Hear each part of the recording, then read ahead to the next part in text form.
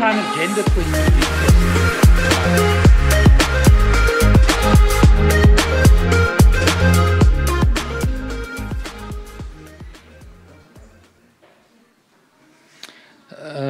hi, everyone. Good afternoon uh, from Johannesburg, from Wits University. Um, my name is Imran Valodia. I'm going to chair the proceedings today. Um, I just wanted to say uh, kind of a few things about the, uh, the, the kind of event today and the program, and then I'm going to pass it on to our speakers. Um, so I think it would be fair to say that we live in a moment of quite, quite sort of deep despair, and that there's a, a, a kind of sense of the politics of the, of the country being uh, something that doesn't inspire us with much hope. I think it would be fair to say that there's a kind of global part to, to, to, to that. So, in some ways, we part of that global process. But I think there's kind of also a set of local issues that kind of drive that. So it's kind of really a time, perhaps, for, uh, for, for us in South Africa and perhaps globally to be thinking a lot more imaginatively and to be thinking a lot more creatively about potential solutions to the problems that we have, and for us to think a lot more bravely and a lot more th uh, th thoughtfully about the kind, kind of society that we, uh, that we would want to have. So a few of us were kind of having a conversation about this, and we we were struck by the fact that kind of Rick uh, uh, Turner's work really speaks in some ways to to kind of a similar set of issues, and we were also struck by the fact that mentioning the, the the name Rick Turner might mean something for a lot of us who are kind of either as grey as I am or greyer, but that most of the kind of students at WITS and members of the younger generation really don't know much about kind of about Rick's work. So it was with that in mind that we we partnered with the Daily um, Maverick to kind of host the, the, the kind of seminar today jointly with them. And it's kind of really a, a kind of opportunity for us to, to kind of reflect on a, a, a, a past that also had some, some amount of, of kind of despair and some amount of a sense of hopelessness. But what the book that Rick wrote really kind of creatively does is to see a, a, a, kind of new society and a pathway to a new society at a time when um, I would argue things were, were kind of probably more uh, uh, uh, pessimistic than they are today. So it's really, we, we, we kind of thinking about the seminar as some kind of offering of hope for South Africa, some hope for, for uh, uh, the, the globe. We've designed a kind of pretty packed sort of program, and we've got we've got six colleagues who are going to speak. So we'll we'll uh, kind of start with Jerry um, Maree, who is an um, um, emeritus professor at UKZN, and kind Jerry, I know, has been thinking about these ideas about utopian thinking for a long, long time, and this was a, a, a kind of great opportunity for us to uh, get him to think a lot more deeply about it and share his thoughts with us. So we'll, we'll kind of start with Jerry. Uh, Uh, Turner uh, was kind of really close close to Rick, um, and and and played quite a, a, a kind of important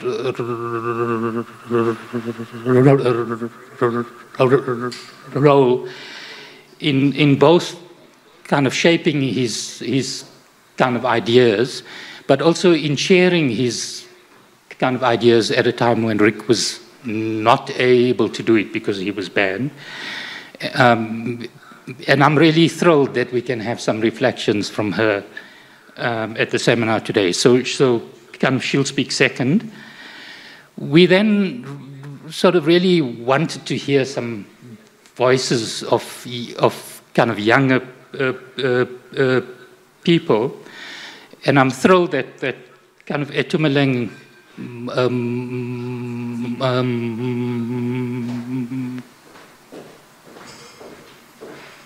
Mohale, who's a, a, a, economics graduate of the university and an intern in SCIS, uh, kind of agreed to speak. We'll have some short reflections from him and then move on to Ruth uh, uh, Castel-Branco, who leads our uh, kind of future of work program in SCIS. Um, and, and I'm, I'm kind of really looking forward to hearing Ruth's, Ruth's thoughts. We'll then have a short, a short Q&A session, um, and we'd like to uh, uh, encourage everyone that's online to, to, to kind of use the Zoom uh, function to ask uh, some questions and, and uh, to share some thoughts. We'll then close off with a few reflections from uh, kind of Eddie Webster, who shared lots of, of, of, of time with Rick and, and, and uh, kind of has been uh, quite instrumental in both SCIS, uh, but, but also in kind of in us doing the seminar. And then a final word from um, Mark Heywood, who's a, kind of been a great partner to us in this initiative. So let me stop there and uh, pass the floor on to Jerry. Over to you, Jerry.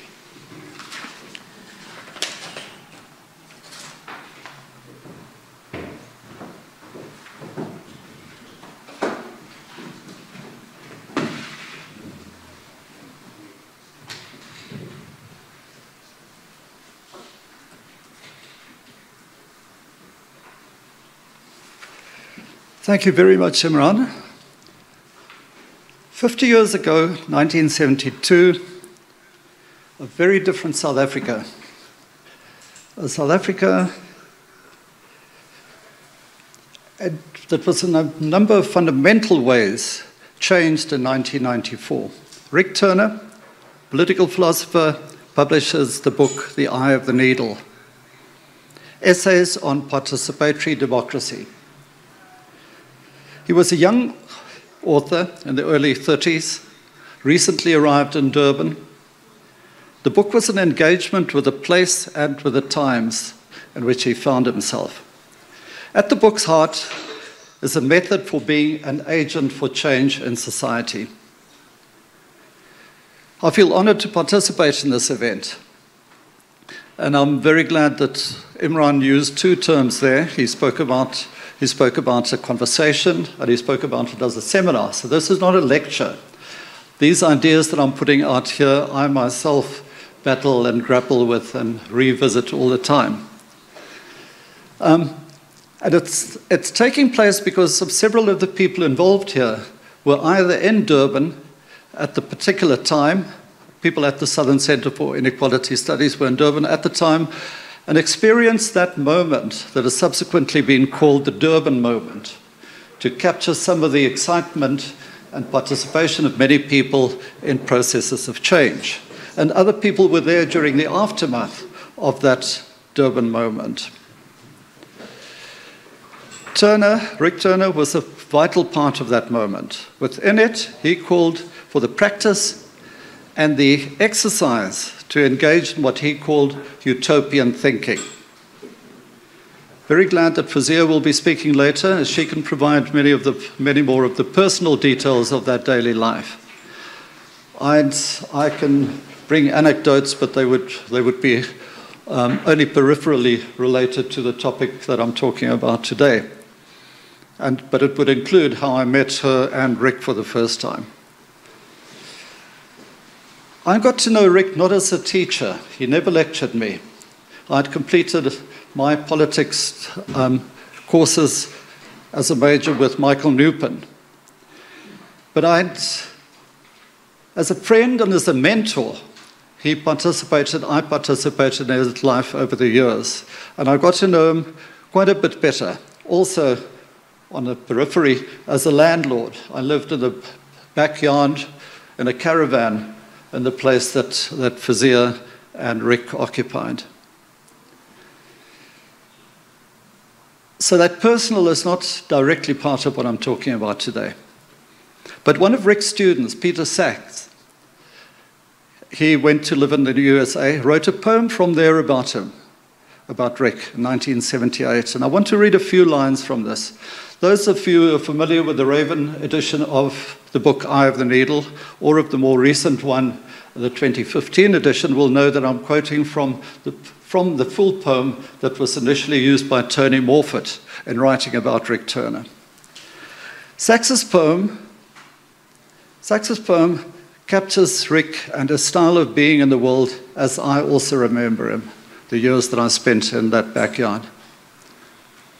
The poem goes You sat among us on the floor, translating Althusser, barefoot, jeans, a pale blue shirt, your black rimmed lenses doubling the light, the red shock of your hair. At some slight turn of argument, your freckled hands followed the actual phrasing in the air. Quote, I know it's difficult in this country, but we've got to think more clearly than the state allows. And the title that I've given to what I'm saying today is from that. We've got to think more clearly than the state or the society as the present allows. Bohm continues Three years later, you were banned, neither to be published nor quoted in any form, forbidden to teach. This event is referring to a period 19. 70, this particular sketch that I'm quoting over here. Eric was banned in 1973, three years later. I want to refer to one other person who was very close to Rick at that time as a student, Peter Hudson, valued lecturer at this university, the University of Witwatersrand, until his recent death. He was also a student of Rick's at the same time as Sacks. Hudson wrote an article in 27 called Let's Talk About Rick Turner it begins like this I lost my copy of Mao's Little Red Book on a very hot January afternoon in Durban in 1972. I am still He's writing in 2017. Not sure how it happened because it was always so careful. I was always so careful with it. After all, it had been given to me by Rick Turner. People knew, know that he was a Sartrean through and through. But I suspect far fewer were aware of his deep interest in Mao and the Chinese Cultural Revolution. I remember that particular time and the books that Rick circulated on the Chinese Revolution. In my experience and discussion with Rick, if you offered up a thought or an observation, his question was frequently, why? It wasn't enough to sound clever or to say something that seemed true, as students uh, want to do. We were challenged with why, but then had to think things through towards their conclusion, to engage with ideas. And that was so much part of that period. And that's what he left with me. He never taught me, as I said, but that having to grapple with ideas. There was a lot to know about Rick. He was this complex human being, but there was a, but there was a state run by vicious and ideologically crude people, determined to understand him in a crude, unidimensional way. Such was required in their commitment to safeguarding race apartheid and capitalism as pillars of everyday society in the early 1970s in Durban and in South Africa. From that perspective, Rick's assertion to anyone who would, who would listen was so important and so central. We've got to think more clearly than the state allows. The terms in which we think must be our own just before he was forbidden to publish, and it was illegal to quote him, Rick Turner wrote The Eye of the Needle, first published by SPROCAS, the Special Program for Christian Social Action, which was an anti apartheid Christian activist organization which had approached him to confront their audience with this book and the ideas it contains. There are several ways we can measure the book's impact and, the import, and, and its importance. The easiest would be largely an academic exercise, which we're all in this age of electronic studying and searching. An academic exercise, identifying authors and works that cite him, and Eye of the Needle itself over 50 years. But there's another legacy, less easy to measure, but much, much more important. This lies in the immediate context and community in which Rick's, Rick Turner's ideas were formulated and received in the decades of his active life. The people he influenced to take action in the world of South Africa during the 1970s. Let me suggest a few avenues of that influence. Although not religious himself, Rick networked with religious organizations because there is a represented, hopefully, a thinking, moral community, and he could speak to them. He spoke to religion in general as well. He taught then at the University of Natal, UN Durban, UND as it was known, which had him interfacing with a very wide range of colleagues and students. Thirdly, he had friends across apartheid's racialized spectrum in that city with whom he entered into intense discussions, listened to many of those in the house, as was his wont. His ideas were conveyed to the readers of the first and then later editions of The Eye of the Needle and through a range of other writings, some of it that had to appear in other people's names as he was banned and he couldn't be quoted. And many here now in the hybrid presence of this event will count themselves in the number of activists, teachers, lecturers, researchers, lawyers, trade unionists, politicians, artists, and others who were influenced by Rick. And no doubt they in turn could also name a very long list of other names not present today. It was an oppressive time, but also an exciting and challenging time to be young, the late 1960s and early 1970s. From 1970, Rick Turner was employed as politics lecturer. 1973, he was banned. In January 1978, he was shot dead. In his home, having lived a life that threatened apartheid power, from his chosen indirect battlefield against that system. His assassination came a few months after the similarly gruesome killing of Steve Biko in September 1977. Rick and Steve had known each other in Durban and interact, interacted on various levels in the city. Steve then at the medical school at the same but racially segregated university. Both had been banned by the state when they were killed. What strikes me with so much force as I speak here today is that these were both young people. I mean, it might sound a bizarre, banal kind of statement to make, but I'm speaking now from 2022. And they were so young. Their lives were short. Turner was born in 1941, Biko in 1946. Turner was 37, and Biko was 31 when they died. It, it, it never struck until I wrote it down few weeks ago.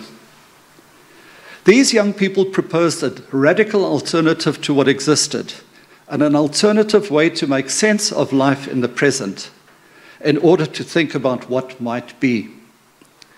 Their deaths spoke in some measure also to how precarious the system was, except, that is, for its fearsome ability to apply violence and in the large and petty ways it managed to fix ideas about hierarchical and horizontal difference as a basic structure of life in South Africa.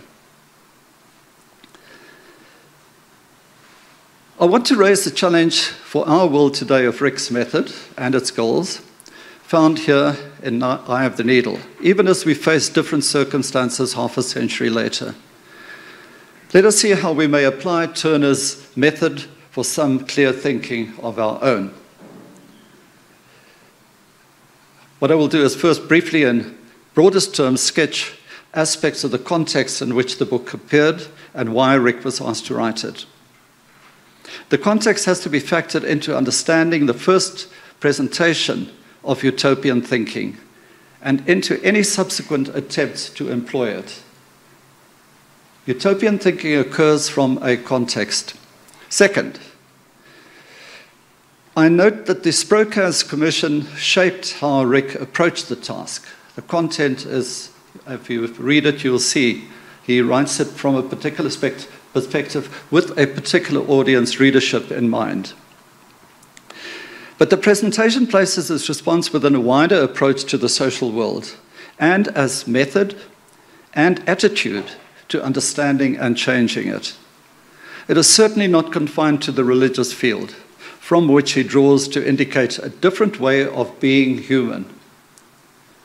Finally, I will outline, and this is where I really struggle, I will outline how this approach speaks for me to the present in a new context of challenges.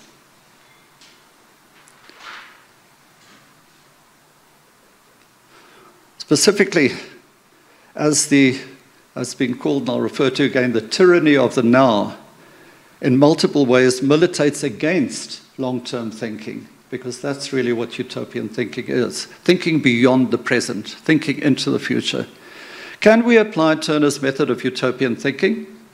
I know it's difficult in this country, he said, but we've got to think more clearly than aloud. It is here where I have to do most rethinking, once asked to participate and where I'm least at ease. Okay, that first thing. Rick's friend Tony Morphet, Tony also died recently, called that notable buzz and blend of imagination, creativity, and activism in Durban, in the period of the late 1960s and the early 1970s, the Durban moment. It was a period of ferment that left marks into the future nationally. Both Rick and Steve Biko were central to that moment and to a range of involvements banning, Rick in 1973 cons consigned them to prescribed spaces far apart, restricted to lives that were intended to isolate them and prevent them from disseminating their ideas.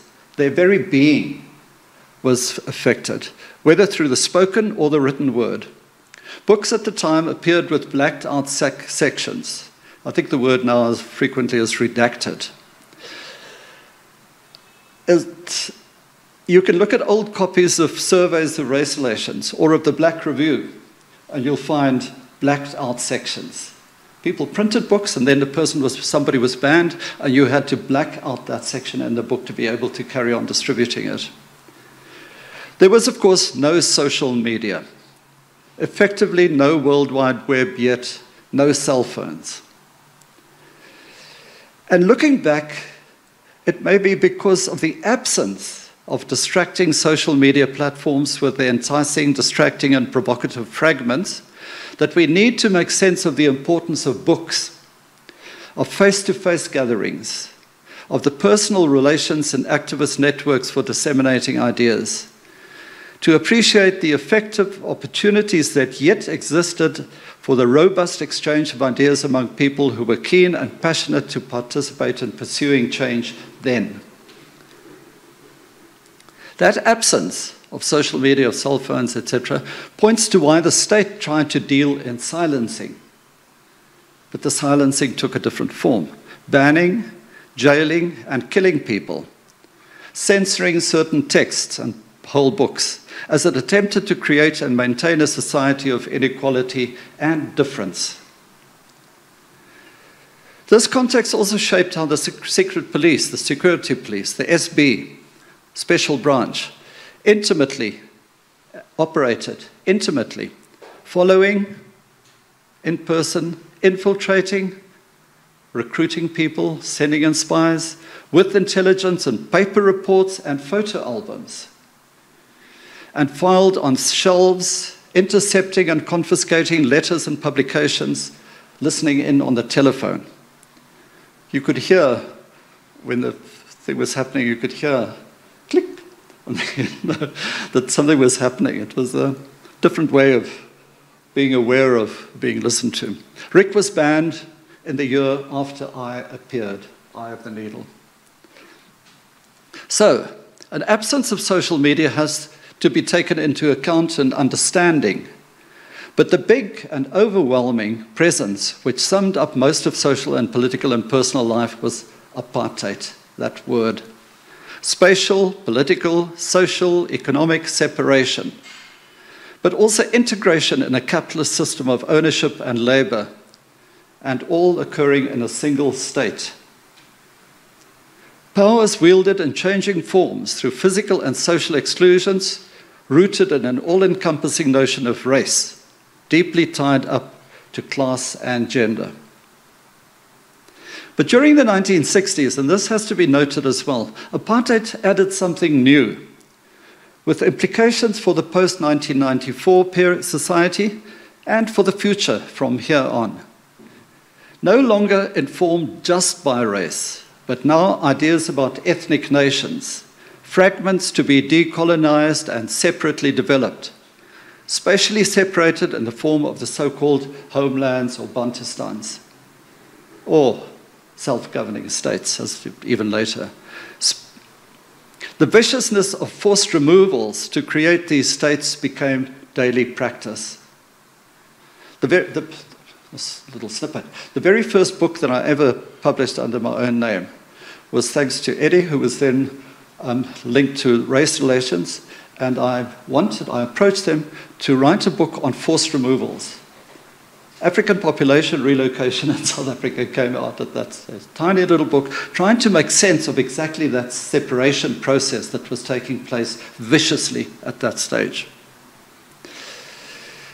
Policy and language of ethnic traditional subjects were to serve politically as well, to fragment ideas about historically shared blackness and the inclusive black consciousness promoted by Biko and his comrades. Furthermore, it worked to devolve some of the rewards of employment in governance and control and of capitalism itself to subjects in the homeland territories. So it offered the opportunity to participate in government, in democracy, and in capitalism, but in these structures created by apartheid. So it wasn't simply, it wasn't simply manipulation and domination. And without that, one cannot understand why those ideas have continued to this very day. Capitalism was a given for apartheid state strategists. And to be a worker for many black Africans meant migration and confinement in labor barracks, far from families in the homelands. By the late 1960s, the trade union movement for black people had been decimated. Political resistance at political and national level had been attacked through the banning of organizations and through the incarceration and banning of leaders and organizers. The state in the late 1960s was relatively confident about its grip on, on power. That's all I'm going to say about, uh, about the context, but it has to be taken into account. We have to understand when the book was written to be able to understand how we can take it further if it's possible. Secondly, then, Rick approached this, the apartheid state as both racist and capitalist, and that's what the Eye of the Needle is about. He saw it as having not only material and socio political effects, but also psychological or existential consequences. Yes, apartheid maintained itself through a powerful and viciously militarized security system, but at the same time, as with any system of rule, it dominated, albeit unevenly, through ideology as well, the way in which we think. shaping everyday sense making, employing material historically given to its own ends. Enter the eye of the needle. And that's, this is my opportunity to show you the little book, the first edition. This is what it looked like. It was cheaply produced. Cost was a necessary consideration of all opposition organizations and individuals at that time. The copy I hold here shows this. It's not cut square. If you put it on a table, you'll see it leans across like that. The, the layout on each page was not the same on every single page. There's no title on the spine. So you had, at that time, you had, I still have racks, whole sections of my book, book collection has no spine and they all put together because you'd have to pull them out to see what they were. So at least they're all in the same space. Compare this to later editions, such as the one produced by Ravan, which I, my copy has disappeared, and the most recent, the 2015 edition, even with the reproduction of a Kentridge uh, painting on the cover. The first edition carried a short foreword dated April 1972 by Peter Randall, who would launch the publishing firm Ravan Press soon after that. He was then in SPROCAS. Randall writes that this short book, 90 pages only, and I quote, is the first publication in a new series by SPROCAS 2, that being SPROCAS 1, in which the intention is to contribute to thinking about long term alternatives to the present social order in South Africa. Captures that idea. We have to think into the future. We can't simply live in that the moment, of the oppression of apartheid. One important task of SPROCAS 2 should be to encourage thinking and discussion about radical alternative models of society, which analysis of our own situation suggests are needed in the ongoing debate about the future of this country. Captures well what then happens. And this is what I have the Needle work to tackle exploring long term alternatives citizens no longer to be subjected to the existing ruling ideas, but to realize that they could and should be creators of alternatives. But how to convince of such reconstruction? That was Rick's task in life convince people of alternatives. This is how he went about it. On the first page, Turner wrote that there are certain things that may be absolutely impossible such as to teach a lion to become a vegetarian. But then there were other things that were impossible not because of nature, but because of social realities. For example, under apartheid, it was impossible for a black person, quote, to become prime minister of South Africa. So that's the example that he gave to get people thinking. How then to open possibilities with what seems impossible through utopian thinking? The first chapter, hardly four pages, called, was called The Necessity of Utopian Thinking. Turner says there are two reasons for engaging in utopian thinking. The first is that we need to explore and, if necessary, attack all the implicit assumptions about how to behave towards other people that underlie our daily actions in all spheres. Okay, so it's, it's we. We have to change. These assumptions, sense making, undergird the structures that maintain such an order as existed under apartheid. In other words, an attack on our personal behavior towards others, whether groups or individuals, will be in effect challenging, challenging the order of society itself. Start off with the individual, Start off with a consciousness, start off with the beliefs that people hold about what's possible and impossible. Change that, and you can get people to change the, the world in which they find themselves. The second reason for utop- utopian thinking was this Unless we can see our society in the light of other possible societies, we cannot even understand how and why it works as it does, let alone judge it. We need some kind of comparison. Find it in other societies, find it in a society that you feel is utopian, is the ideal, is different, fundamentally, essentially different from where you find yourself. For Turner, as Tony Morphet observed, utopian thinking constitutes a theoretical attitude. It's an ability to realize that what things in one's experience cannot be taken for granted. So the utopian question is not idealistic, not pie in the sky, not avoidance, not unrealizable. It's a, it's a thinking mechanism. It is a method located in radical, radically imaginative thinking to shake common sense, to remain open to and act towards other possibilities. In this case, beyond race, and beyond capitalism, as it existed in apartheid South Africa in 1972. From there, the reader is challenged to step back and to return to what is being presented as the common sense of the everyday world. If it is impossible to have a black prime minister under existing conditions, what are the obstacles to the apparently impossible? Because he's already challenged that notion of impossible as it applies to what we create ourselves. Utopian thinking recognizes that the way things are is itself a contingent status quo that requires active participation by people to maintain practices, ways of thinking, and behaving for its maintenance. Finally, if humans built this history, humans can change it.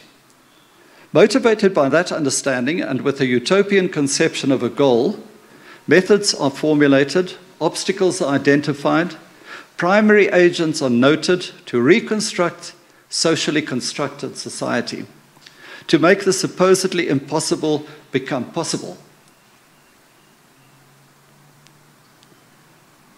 Activism, research, organization, mobilization, agency, and agents.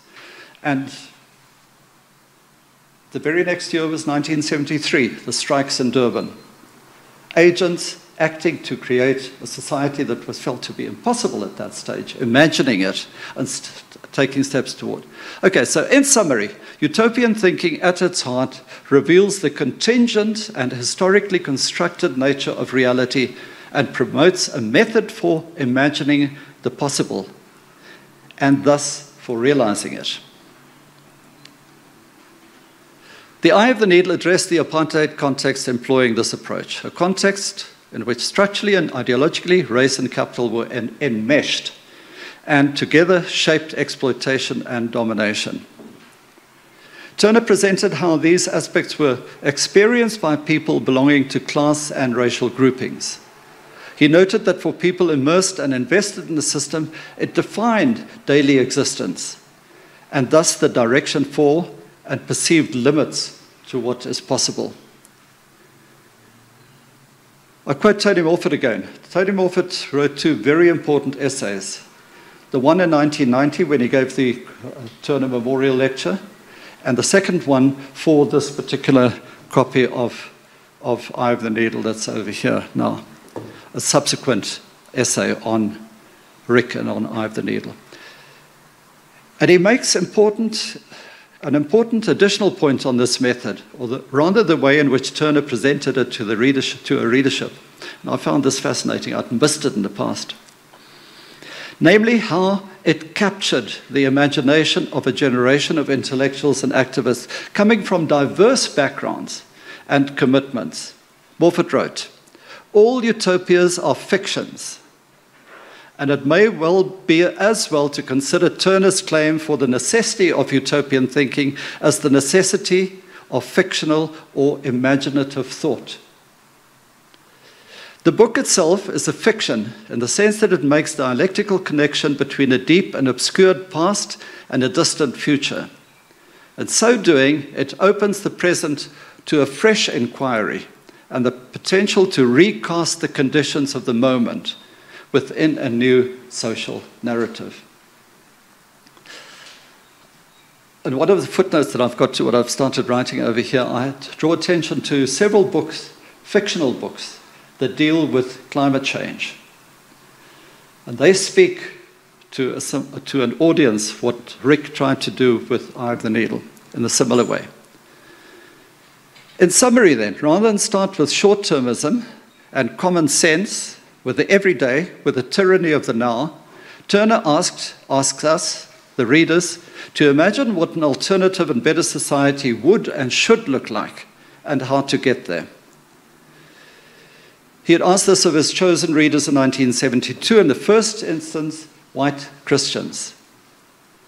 But it speaks more broadly if one starts looking at how he was doing it and what he was proposing. Then it speaks to a general audience.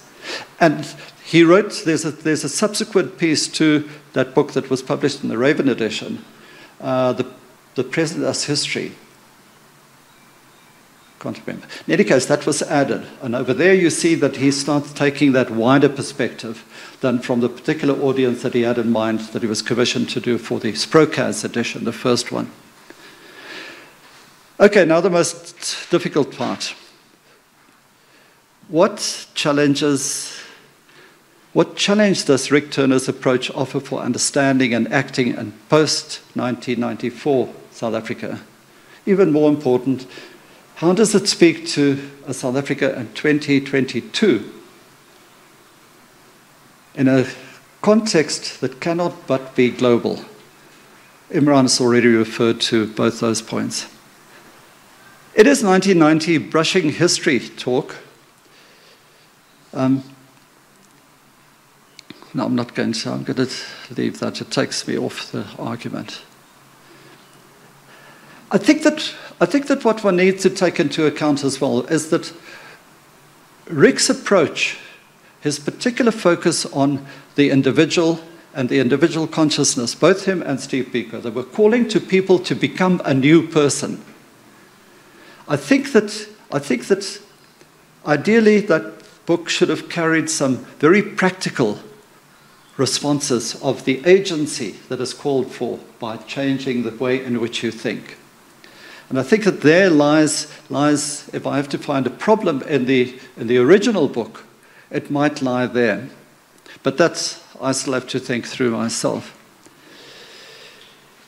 I do not take issue with Rick's approach and his method in the various ways that has been interpreted and affected activists and activism. Those remained stimulating, provocative, and not to be discarded, and most certainly did shape the way in which I selected topics in my own research over many years and published. That approach remained, that but the form it takes and where the results approximate what Turner had in mind is not always clear. What can the many people affected and influenced by him and by this book suggest? It would be fascinating to ask each one to write five pages on their life post reading Eye of the Needle or post knowing and attending his lectures in the 1970s. Okay, I'm going to be brief here because this is where I this is where I'm going. Utopian thinking as a required step in unsettling the apparently fixed everyday is essential, remains essential. Those exercises of imaginatively presenting long term alternatives to what exists, apparently so firmly, is certainly as if you apply that, the looking back, it's easier to detect the obstacles that stand in the way and also to identify agents that are essential for that change. Agents in today's world, I hazard to say, are not singular. It's not the working class or not the single body of people. For the enemy is much more complex. In distinction to the way mobilization against apartheid was and could be thought of. A UDF, a United Democratic Front against climate change, is very, very difficult to imagine. I'll come back to that point. The singular enemy that apartheid was, therefore, people were called to be united against apartheid, created a sufficiently shared goal a world without apartheid, in a way, a utopia, among a very wide range of interests. People came from all walks of life to join the UDF. It was an astonishing period of time in South Africa. There lay both the advantage and the danger. Once apartheid was dismantled, coalitions and solidarities dissolved, and structural and ideological differences surfaced with ever increasing insistence, including even arguments on what apartheid actually was. A crucial thing to return to. What was this thing that we fought against? We still have race, we still have capitalism. What else was it? We still have Bantustans. Not called that anymore, but tradition. We still have tradition, we still have kings, we still have etc. So, what do I do with trying to think in a utopian fashion 50 years later?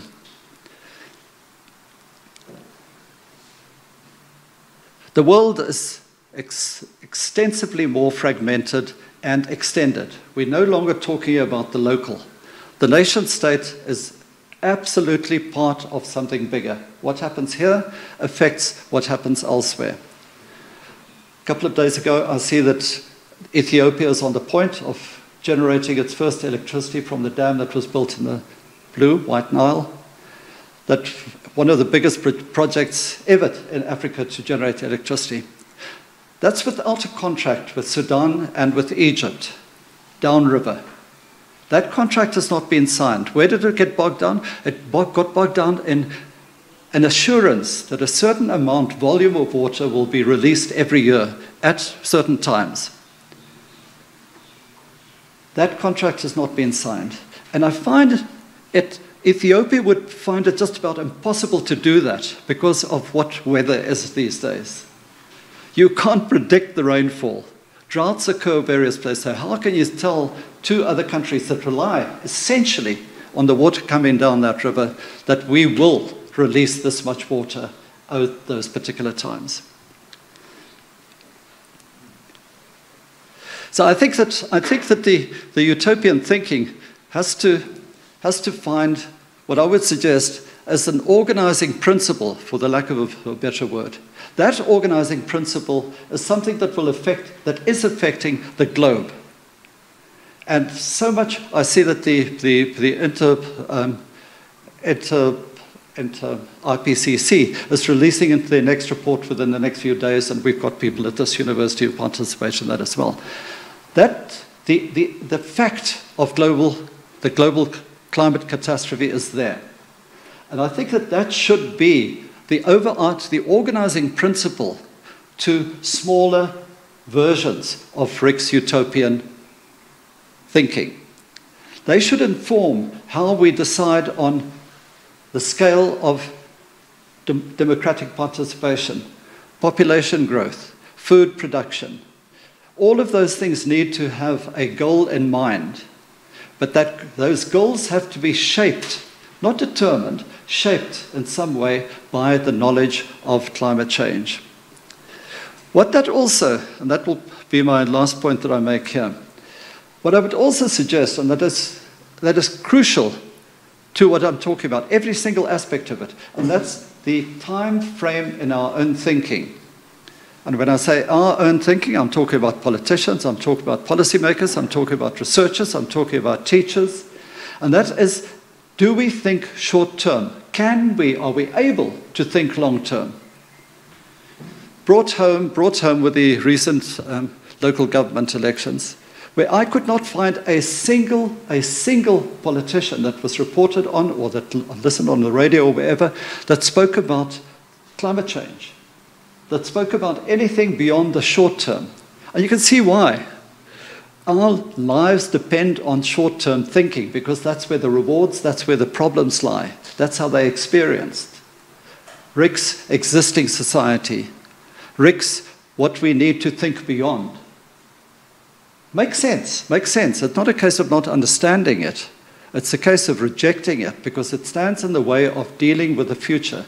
And it stands in the way of making decisions about how we create human solidarity. Human solidarity can still have difference and diversity, can still have all the, the issues, the smaller issues, the smaller group issues that we live with. They are important, they're essential to the people who belong to particular groups. But they, they do not solve the long term problem. That long term problem's got to take those into account, but in terms of a longer term uh, way of thinking about what to be and what to plan and what to do. Without that, I think that we are in very deep trouble. Um, we're hoping, we're hoping, we're hoping in, a, in, the next while to make available some initial, where we put out these ideas about time thinking to a range of people, from lawyers through geologists, through physicists, etc., and to get open a debate on exactly what long-term thinking means. And keep your eyes open about that. I think that Rick would have said, maybe not why. He might have said, why not? So that's the challenge that I stay with and hopefully you take away. Thank you very much, Imran.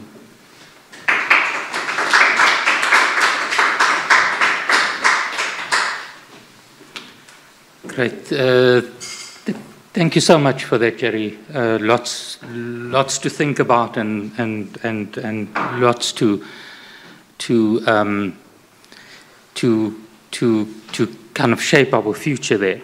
Um, just two announcements before we move on to our next speaker. If you would like to buy the book, I'm extremely pleased that we've mm, um, managed to arrange with uh, Love Books in Melville to get copies of the US edition of, of the book. So if you would, would like to get the book, please get in touch with Love Books or feel free to, to kind of drop us an email at SCIS and we can, we can put you in touch with, uh, with Love Books. The kind of second announcement for those who are online, we're going to use the Q&A section in Zoom to, to, uh, to, to to take feedback and questions from you when we, we get to, to that point. We're now going to move on to, uh, uh, uh, to our second speaker, Foszia uh, uh.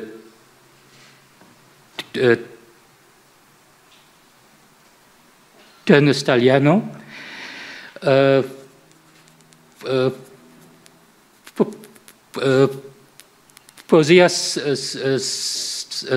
studied in the early uh, 1970s at what was then called Salisbury Island, which then became the University of uh, uh, Durban Westville, um, and at UND, both institutions which then merged to, to then become UKZN. Uh, For um, a long time in the early 70s, uh, she coordinated the uh, kind of education programs in the Institute for Industrial Education, which was a kind of really key institution, uh, kind of supporting the, the, the, then emerging trade unions in Durban.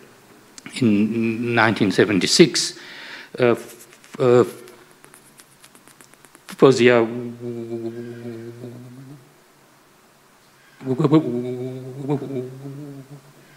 worked as an assistant to the uh, kind of legal team uh, uh, that that uh, that worked on the SASO BPC trial. she had to leave South Africa in 1981, and she's been based in the UK since then. She's worked there in um, a wide range of areas, including uh, uh, uh, kind of run, run, running a center for, for, for uh, uh, kind of gender. She worked, she worked as a social worker, and she now uh, runs a private practice um, as a transpersonal th uh, therapist. So it's my great pleasure to shift us over to London and to ask uh, uh, to speak. Over to you, Foszia. Thanks, Imran. Thanks very much. Thanks for having me. So, what I'm going to talk about first is to situate the eye needle in the current work context, and then to talk about how the themes were interwoven in the way we lived our lives. So, since writing The the Needle, the societies we live in are more contracted, more self focused. The language we use to describe problems and opportunities for change have withdrawn. But the basic issues, they remain the same. We are more connected technically and electronically than ever before in recorded human history, more wealthy in terms of availability of resources to meet human needs and the caretaking requirements of the planet, and yet we are more disconnected, more impoverished, more displaced, and more neglectful, if not disdainful, of our natural environment. The end of history and the promotion of the selfish gene offer no meaningful contribution or consolation to our global dilemma. And we are more compelled than ever to think beyond the given to question what is deemed inevitable about social development and fixed in human nature. Like the rest of the world, South Africa is at a crossroads. The democratic rebel country that was triumphantly birthed with the transfer of power from the Nationalist Party has failed to deliver its promise. The promise of its commendable constitution, the undertaking of the trade unions to be the champion and bastion of participatory rights in the creation, management, and distribution of resources has collapsed into power grabs and the further entrenching of the rural urban divide. Big issues for South Africa to deal with. We got to where we are both globally and specifically in South Africa because of the value choices we make collectively as a society and as, and as individuals in our personal lives.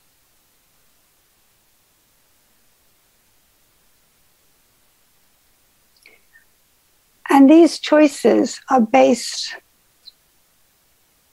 on our conscious or unconscious beliefs. The values that are laid bare by the choices that we have made prioritize profit over people, exploitation over sustainability, greed over redistribution. The eye of the needle and the life of the man who wrote it continues to shine a torch to a sustainable future and the possibility of its creation. The only escape from cynicism and belief in one's own powerlessness, Rick wrote, is in articulating and defending a vision of an ideally possible society. Beliefs create reality. Who knew? I certainly didn't. But after encountering Sartre in the library at Salisbury Island and then Rick, the illusion that human beings have fixed natures determined by their genes and expressed as personality types was, was swiftly dispelled. That we can choose to res- that we can choose how we respond to rather than react against situations was a powerful, liberating realization. We are not trapped in this the sufficient task of unmaking or unmasking the global capitalist monstrosity that Western civilization has become in order to choose different values by which to live our lives. And acting on this belief, Rick and I chose to live our lives as freely as we could in an authoritarian, oppressive, and racially divisive society. The statement repeated a number of times takes on the form and weight of fact. It becomes perceived as fact. There are facts that exist independently of human opinion, the stars in the sky, night following day, etc. We can apply different names to stars, we can call them, but the fact of their existence is incontrovertible. But then again, there are facts that bounce against the reality of beliefs. And no matter how much supporting evidence is presented, no matter how many surveys are conducted, those beliefs exist, persist in holding that version of reality as true, as self evident. There are still people who continue to believe that the earth is flat, that the creation myth is a historical fact. There are people who continue to believe that Donald Trump is the rightful president of the United States of America arguing people into change without meeting them at their belief systems results mostly in further entrenchment of their beliefs. And over time, it generates conflict and sparks wars. And we may well be on the brink of yet another one, thanks to Putin. And also authoritarian, oppressive, racially divided state uses fear and shame to keep the different groups in their designated places. It was self evident to the state and the vast majority of whites that those who were not blessed by color and class were inferior species of beings whose only source of value was the provision of cheap and expendable labor. Rick and I chose to shrug off the coats of shame and fear and live openly as a couple, willing to take on the ubiquitous surveillance of the state, poised at any time to push us back into conformity and or prison. At the personal level, we chose to work through the concerns and anxieties of family and friends who feared for our safety and to be patient with those who, who thought us reckless and compromising both our academic and political futures. In February 20, 2010, introducing Rick's work to the, to the online platform DISA, I wrote, At the tail end of the 60s and the beginning of the 70s, Two men stood out above all their peers, two men who, between them, transformed predominantly the consciousness of black and white students in South Africa. One was Steve Biko, and the other, Richard Turner. Both men were unique outpourings of the vibrant richness of the South African soil, and this we must never forget. In them, we see blazing exemplars of human ability to harness their formidable energies to transform not only their own lives, but those of their compatriots as well. I was fortunate to befriend both on the same evening, and a year later, to be married to one. Growing up in Durban, living in the city center within a few minutes' walk of the Indian markets, where in 1949, the month and year of my birth, the race riots had begun, the life I led prior to meeting Rick was manifestly different from what he had grown up in. He was raised in the English speaking world of white South Africa, where his identity and value were assured and reinforced by the laws, the media, and the schools he attended. I had grown up in a society divided by race, culture, and religion, and fueled by uncertainty, suspicion, and hostility. As a child of mixed parentage, according to South Africa's race categorization, I had to struggle to piece together an identity that kept me whole and around which I could build self esteem and self confidence. When we met, he was a lecturer at the predominantly white UND, and I, a third year English and philosophy student at the Bush University in Salisbury Island. He was seven years and three months older. He had lived in Paris and studied at the Sorbonne. The furthest I had traveled from Durban was to Cape Town and Johannesburg. We were both unknowns to each other. Neither had dated across the, the racial divide.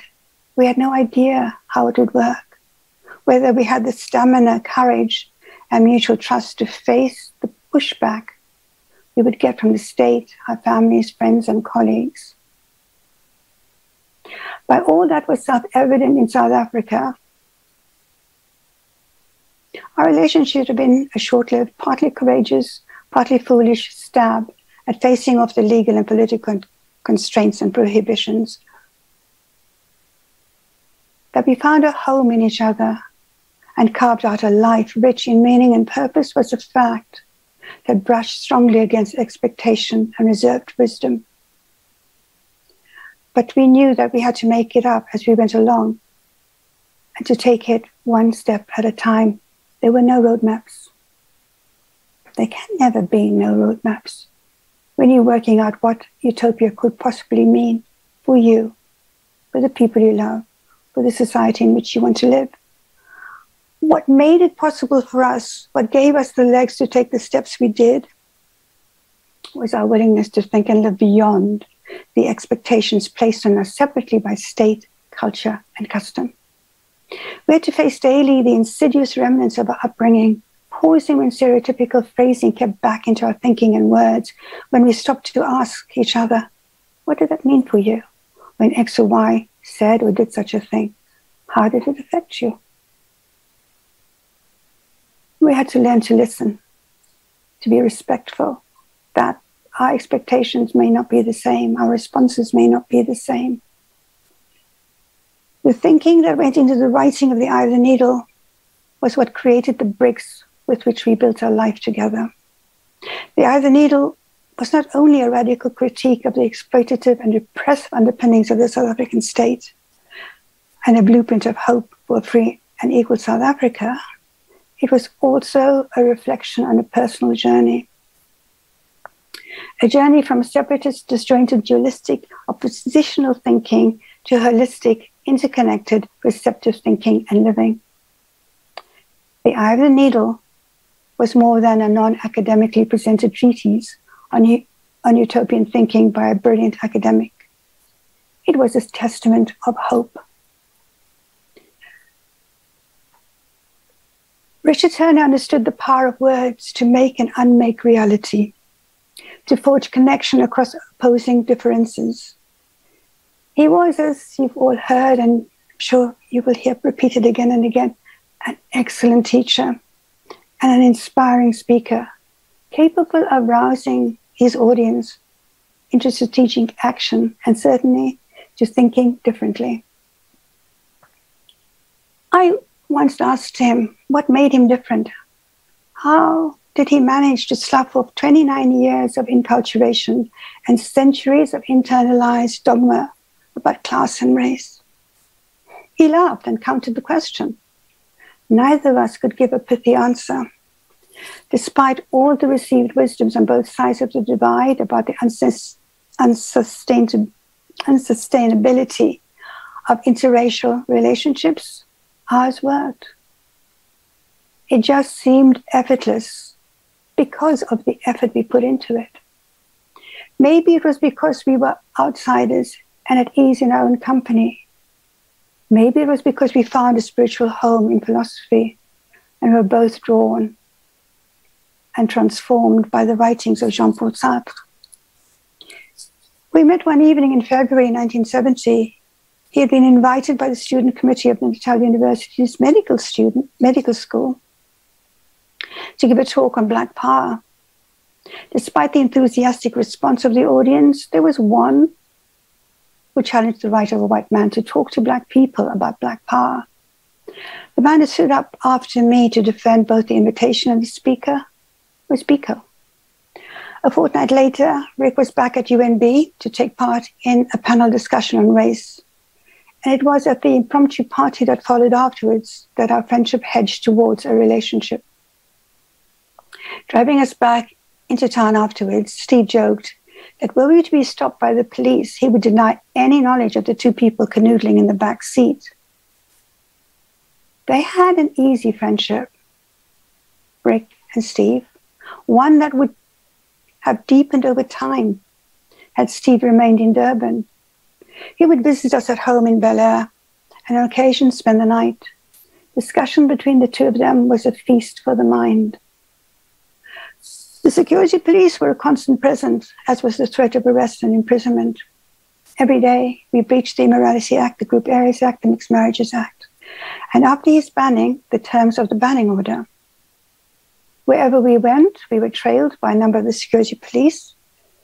We had to contend with daily acts of harassment, the house was firebombed. A truckload of bricks narrowly, narrowly prevented from being dumped in front of the house. To do with the cutting down of the bougainvillea hedge surrounding the property. One of our housemates arrived to find fires under the petrol tanks of the cars parked out in front. Our sleep would be interrupted by random police searches or army flares thrown at the side of the house.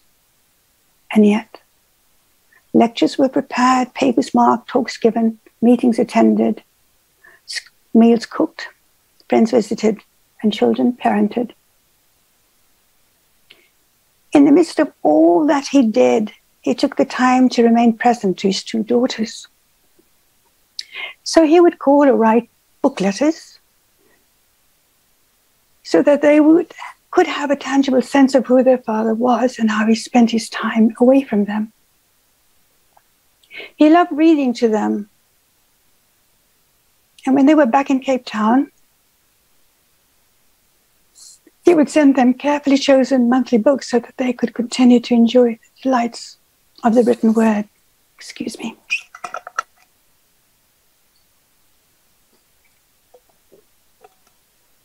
The eye of the needle is important for many reasons.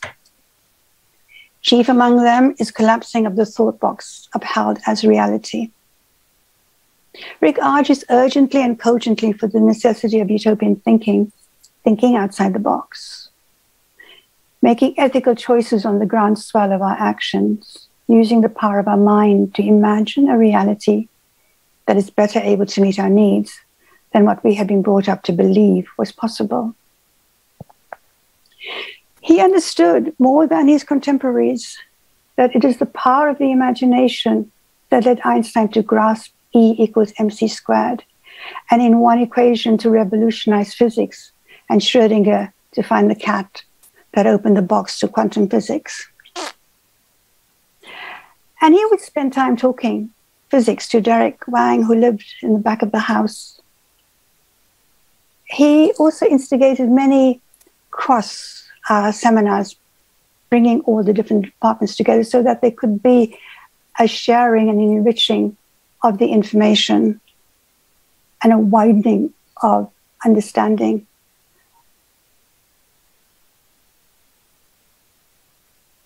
What Rick understood clearly was that apartheid was not an anomaly of the economic system, no more than the slave system had been an aberration of the feudal system. Just as the repeal of slavery brought relief to a specific set of hardships and ignominy, ignominy so too with the repeal of the apartheid laws. If the basic structure that permitted and enabled a system of injustices to prosper remained in place, indeed a system that was dependent on injustice and inequality for its very survival, nothing except the superficial expression of its needs would change. And this is clearly clearly seen, clearly experienced in South Africa. When you have the clarity and vision that Rick forged for himself, no obstacle was bigger than his ability to find a solution. And for the state, its final acknowledgement of defeat was to stop him with the bullet. He did, he did not believe that freedom could be granted or taken for granted. He took freedom as a right that can only be grasped by an awakened mind, a mind open to thinking beyond the box and willing to face the uncertainties of the not yet known, as did Gandhi, as did Martin Luther King, Malcolm X, Steve Biko, and so many more. And here we are now in post apartheid South Africa, and the question is how far have we moved outside the box? If Rick and Steve and the many other courageous visionaries were here today, would we still be willing to go further than the state allows? And would we have been willing to forego revenge, entitlement, and self aggrandizement? And with hindsight, what different choices would we make, knowing what we know now? We all arrive into this world to parents who assign us our race, religion, culture, and social status. Over our beginnings, we have no choice But the moment we awaken our capacity to ask why and what may be, we begin to change our ability to make choices. And choices that take us out of the box of limitation and scarcity. And as we begin to acknowledge that we have no right, and as we begin to acknowledge that we have no right answers, only the rigor and integrity of ethical exploration, we move towards collaboration and cooperation and away from exploitation, coercion, shame, and blame. We take responsibility for our choices. We begin to create the building blocks of utopia as an ongoing project. Reason and freedom were the twin suns around which, around which Rick's world turned. Reason, not as in cold logic, as antonym of emotion, but reason as in as in the process by which the why of things is explored, dug at, exposed to meaning, and through meaning extended and, and extends an invitation to understanding. The freedom he valued was not in anarchy and irresponsibility, but in the willingness to take responsibility for making things happen for the good, for morally rich and sustainable living. And I'll give the last words to Rick on. Hmm. On page 85 of the Eye of the first edition, this one, he writes A grossly unequal society is immoral at any time. In our time, it's also stupid. We can no longer afford the waste of resources involved. We can no longer afford to stifle creativity, inhibit cooperation, and foster fierce and destructive competition for scarce, for scarce goods. Unless we end, and then back on page 84, unless we end our obsession with growth and relocate the resources that we do have left to provide for our vital material needs, food, shelter, and health, we can look forward to a future of famine, growing, growing inequality, social conflict, and universal hate and fear in the struggle for survival. And we are facing that now, aren't we, globally?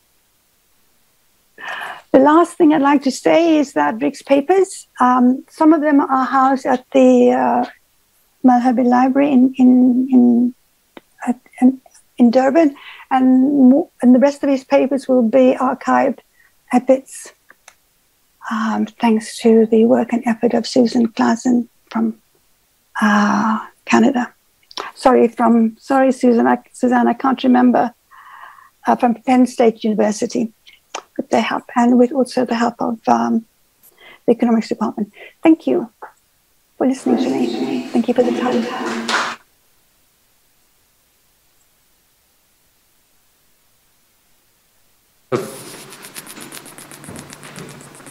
Have I stunned everybody thank you. into silence? Uh, thank you so much for that. Uh,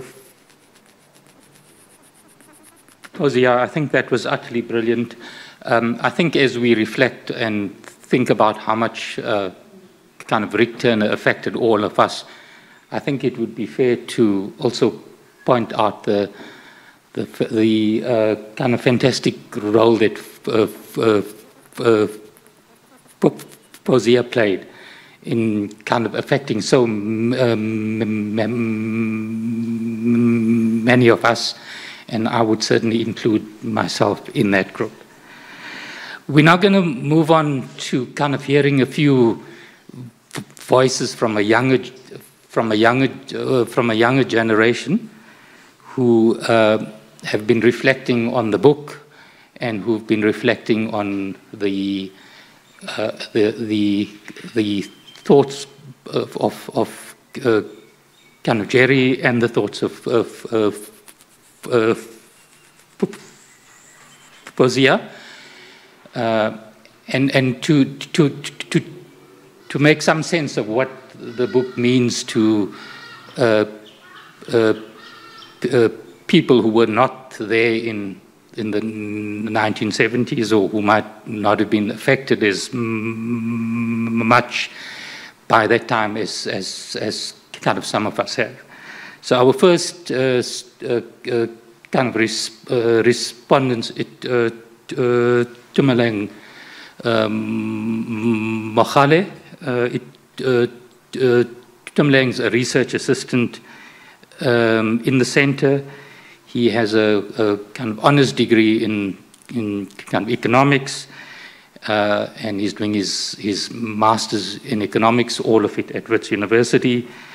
His kind of research interests are in the, the, the uh, kind of fields of, of, of financial economics, uh, kind of inequality, and uh, uh, competition. So let me pass it on to you.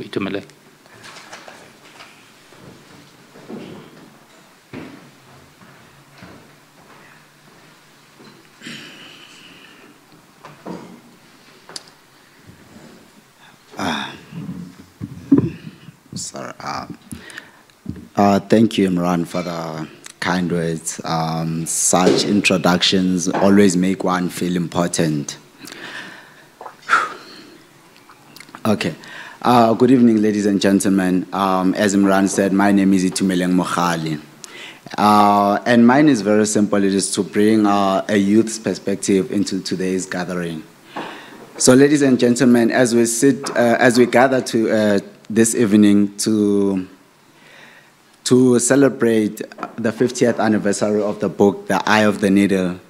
And as we reflect upon the ideas that Rick articulates in this book, it is very imperative that we ask ourselves this very simple but fundamental question, and that question is Are Rick's ideas still relevant today, especially from a young person's perspective?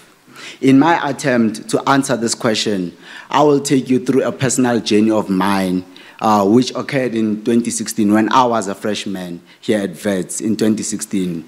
A journey through the eyes of Fees Must Fall, how I experienced it, and what some of the parallels that we can draw from my own experience and my own observations to those of Rick during his, uh, his time. But before I can tell you about my experience of Fees Must Fall, I need to tell you about what Fees Must Fall meant and symbolized to me. To me, Fees Must Fall was more than just fees falling. To me, Fees Must Fall was a mechanism to highlight the contemporary socio-economic issues that still exist and persist in today's society. In essence, Fees Must Fall was a mechanism to highlight the broader context of inequality that still exists in South Africa 25, more than 25 years into our, democracy, into our democracy. It is a mechanism to highlight the access into higher institutions of learning. And most importantly, it was a mechanism to highlight the commodification of education, which is very ironic because education is a right, but if it's a right, then why commodify it? How I experienced Fees Must Fall, I experienced it in two folds, one from a res perspective and one from a general student's perspective. I was at Men's and this is the approach we took. We took a very militant and hierarchical approach.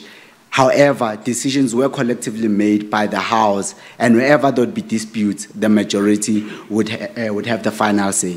In everything and anything, there was a free flow of information, and every step of the way was transparent. This, ladies and gentlemen, resonates with Rick's idea of participative uh, democracy, where he states that workers can be in control of a factory and most importantly, workers are more than capable of making uh, high level executive decisions. And he was of the belief that whichever uh, information that they did not have, it was information that was uh, uh, purposefully restricted to them. Ladies and gentlemen, this became very key in our fight for fees, uh, for fees must fall, in that in every one of us, we pulled in the same direction because we knew our positions and the roles that we had to play. And and in so doing, it was easy for us to achieve our objectives, and it became difficult for the university to collapse us as a house, the men's house. As a general student of the university, they took a very bizarre approach. They called it a socialist, but it was very hierarchical in that suggestions would be taken from the masses, but the leaders would have a final say. And this if you, uh, you read closer into the book, this is something Rick warns again, uh, against because it breeds an elitist mentality and it creates separation from the masses to the leaders. And this is one of the reasons why in that movement, everyone pulled in different direction. Also, this can be attributed to the political affections that were prevalent, mainly the EFF and the PYA. And this later created distrust towards our leaders. As I was a foot soldier in that uh, movement, the cracks were easily visible, and I always had the, uh, uh, at the back of my mind had this notion that should the university want to weaken the movement, they'll do so with ease, and they later did. The university took a very, um, just like in Rick's time, where student movements and strikes and uh, riots were met with brute and violent resistance, the university took the same approach. This is very ironic because uh, Wits University calls itself a progressive university and it, it is a space where intellectual ideas are engaged upon.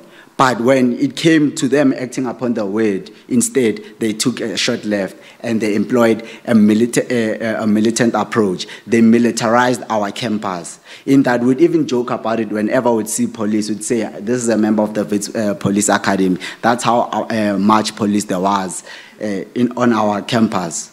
And later, they decided to uh, deploy other tactics that the apartheid regime employed in that they targeted our leaders to weaken our movement. As if that was not enough, they decided to strike fear amongst us, the students, in that they suspended some, expelled some, and they jailed some. Uh, to make matters worse, they intentionally targeted residences. And this is uh, where Rick's ideas of worker, uh, worker power comes in. I'll later come back to that point. More than that, they also captured some of our student leaders, right? This is something the apartheid uh, regime was famous for.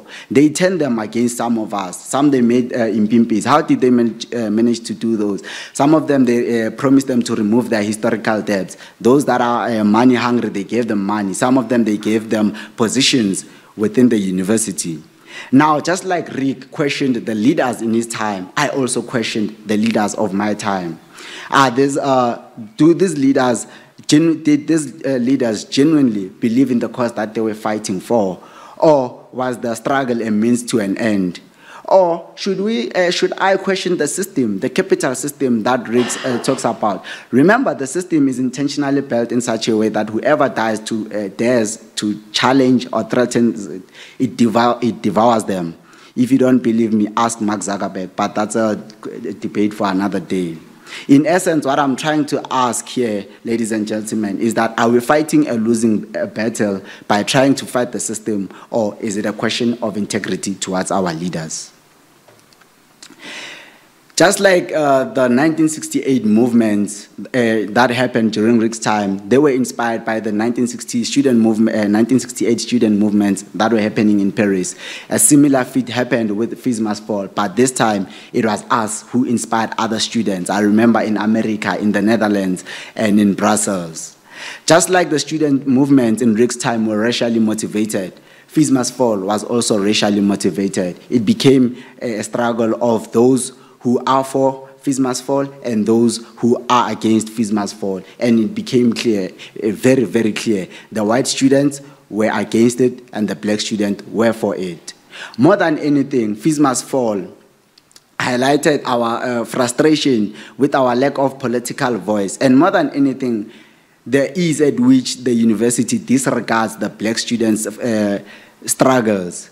In essence, we were just tired and frustrated with how the university was run. And in so doing, fees must fall became a direct challenge to the university, and we later changed their thinking. One compliment I have of Rick's idea is his belief that workers had the political power to bring any change that was needed in his time. And this became significant in our time, in that when the workers decided to join the movement, they joined it at a point where it was at its lowest. And as I said at our res, the police once tried uh, to infiltrate us, to capture our leaders, and to take some of us who were visible. And the workers were the ones who uh, helped us to take control of the res, and they gave us the tip off. And further that, it makes sense what Rick was talking about because if you compare and contrast a worker life and a student life, a worker's life is permanent. You cannot wake up today and decide you want to quit an adult life. But as a student, I can I can decide to quit, or a student's life I can graduate and I and I move on to other things. I get employed, right? And this became evident in that the student movement after Fees Must fall, 2016 to be uh, precise, they became weaker and weaker and thus ineffective in achieving their objectives. And thus, Rick was spot on when he said workers are irreplaceable and that to bring about any political change, they are needed. And this also can be attributed to the shift in dynamics that we're seeing in that yes the workers have power but their power have reduced. And this is in no way part of their fault. But it can also be attributed to the fact that the system has only gotten stronger and stronger of the, uh, as the years have gone by. And this is one thing i believe rick saw uh, beforehand. One criticism that i have though of him was his view on riots and student movements, and he believed that they were counterproductive, right? I am not, when I read the book, it is not immediately clear where they stem from, but if I could speculate, I would say it was made from his moral principles or it could emanate from his Christian beliefs. But again, it's not clear. Why do I choose to criticize that point? Ladies and gentlemen, if you read this book precisely, his, Rick's utopian thinking, his vision, his ultimate vision I personally believe it was about moral victory. And when you look at Fees Must Fall, Fees Must Fall is or was a moral victory, particularly to black students and workers. Because if you look at our primary objectives, it was free education. And then later, as the uh, workers joined, it became about insourcing, right? Now, if you read this book, especially his idea on participative democracy, Rick uh, emphasizes the point that workers need to be in control of their labor. And this is what Fees Must, uh, Fees Must afforded to the university workers. Now they're in control, even, not, even though not in, uh, in, full, in full control, and they're able to participate in the decisions of the university right? As I said, we, cha we challenged the university's thinking and changed their perception. One simple uh, example I can give you is that before you could not register here at Wits if you had historical debt or you did not have the registration fee through Fees Must Fall, we managed uh, to change them to say if you have less than 20,000, you owe less than 20,000, you can register. And if you don't have the money, as some of us, we don't have the money. I am from Soweto. Where am I going to take 10,000 in January? It's impossible. And as such, they said, no, it's fine. You can waiver and pay later. Ladies and gentlemen, as I read this book, I am of the perception that when Rick was writing his book, he was full of pessimism towards uh, his leaders and towards the future that he was seeing at that time. You can't blame him, right? But as I sit here, more than 50 years since this book has been written, I stand in the same corner, if I may say so, in that I am very pessimistic towards my leaders. And when I start to think about the future, I start having those pessimism doubts, ladies and gentlemen. And in so doing, this is, in my humble opinion, I believe Rick's ideas are still relevant and relatable, and that's where I'd love to leave it. Thank you very much.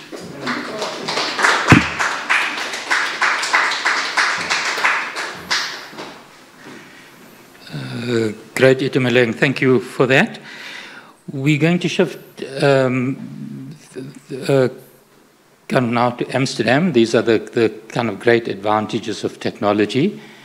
Uh, our next uh, uh, uh, uh kind of respondent is Ruth Castel-Branco.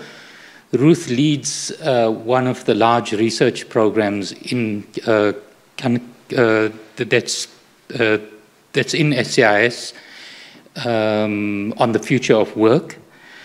Um, like many others who were affected by Rick's work, uh, Ruth uh, worked for, for a long time in the trade union movement, worked in the ILO, and kind of interestingly, like, uh, uh like many of us here, did her master's degree um, kind of at UND in precisely the same sort of program that uh, Foszia did her master's degree in. Ruth uh, kind of recently completed her PhD here at Wits University. Uh, she's she was recently awarded uh, she was recently awarded an a, kind of Open Society Foundation uh, uh, kind of inequality uh,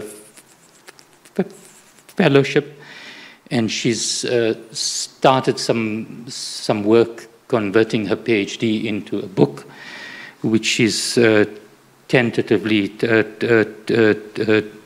titled "Beyond Post-Work Utopias." Let me then pass it on to Ruth. Thank you, Imran, uh, for the introduction. It is truly an honor to be part of this incredible intergenerational gathering. I think that my colleague Itumeleng has uh, raised a number of challenges, and I just hope that we can have some good debate about some of these critical questions. Reading The Eye of the Needle is um, it's it's astonishing because it's a product of its time, a time where, despite militant resistance across much of southern Africa, um, southern Africa was still largely under colonial domination. But it's also a timeless text which raises critical questions for the present. The book begins in its first page with what I initially interpreted as an engagement primarily with white South Africans. And I have to admit, I found this somewhat jarring. Um, I was born in Mozambique in 1983 amidst a revolution. As a child, I learned how armed struggle for independence had liberated us from colonialism, about the support from our uncle Kenneth Kaunda of Zambia and our grandfather Julius Nyerere of Tanzania, about the anti-imperialist struggle against apartheid in South Africa. In fact, I see there's many participants in this call today that were part of that space. And, and we also learned that we would dig the tomb of capitalism and exploitation. Despite the contradictions of Mozambique's post colonial revolution, I never considered, nor were we taught, that the consciousness of whites would be of any relevance to African liberation. Who cares if white South Africans are absolutely and inevitably carnivorous as Turner asks on the first page. Now, I suspect, and I'm very curious to hear more from Foszia and others, that Turner himself might have struggled with the question of audience, for he quickly moves to explore the absolute limits of possibility by sketching an ideally just society, while Turner didactically challenged White's sense of superiority. His audience was far larger, for he sought to deconstruct the very tenets of white supremacy and create the space to reimagine what he identifies as values, behaviors, and institutions that are so essential to the construction of a utopian society.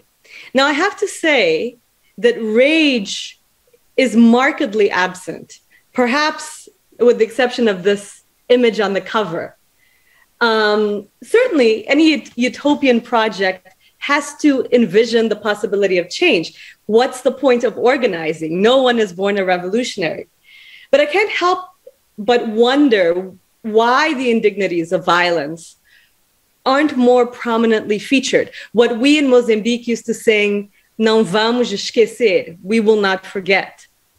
Yet, as Turner seamlessly switches between audiences, I was reminded now in the contemporary period of a call by the Black Lives Matter movement to white progressives organize your people first, they're the problem. And in thinking about this book, um, I'm struck by the various audiences um, that uh, Rick Turner tries to engage with. Now, Turner's vision for a democratic socialist future is especially topical as contemporary left forces globally struggle to respond to a deepening crisis of reproduction. Disillusioned by statist experiences of socialism, daunted by capitalism's ability to save itself from self destruction, and increasingly dubious about the viability and desirability of class struggle, many on the left have retreated to a reformist position, which seemingly sidesteps the pitfalls of revolution, or at least helps us deal with our crisis of confidence. Marxist sociologist Olin Wright dubbed these real utopias, what he called viable and achievable reforms rooted in utopian ideals with the potential to undermine the exploitative foundations of capitalism and transform class relations. Chief among contemporary utopian proposals is universal basic income, which is an unconditional and universal cash transfer paid regularly to all on the basis of citizenship rather than employment. In his now renowned book, Give a Man a Fish, James Ferguson argues that the proliferation of these cash transfer programs across Southern Africa represents a harbinger of an instrument for a radical politics of distribution, anchored in a notion of a rightful share, rather than expiring forms of social incorporation. Ferguson is among a growing group of anti work scholars who argue for the urgent need to decenter wage work from the social and political imaginary in the context of growing labor insecurity. The underlying assumptions are that wage work is no longer a meaningful form of social incorporation and that a continued focus on politics at the point of production amounts to little more than productivist fundamentalism, that the notion of a rightful share is an effective basis for political claim making, and that these cash transfer programs are a powerful instrument to drive forth this distributional politics. Now, that universal basic income has garnered increasing traction, particularly in the COVID period, is not surprising.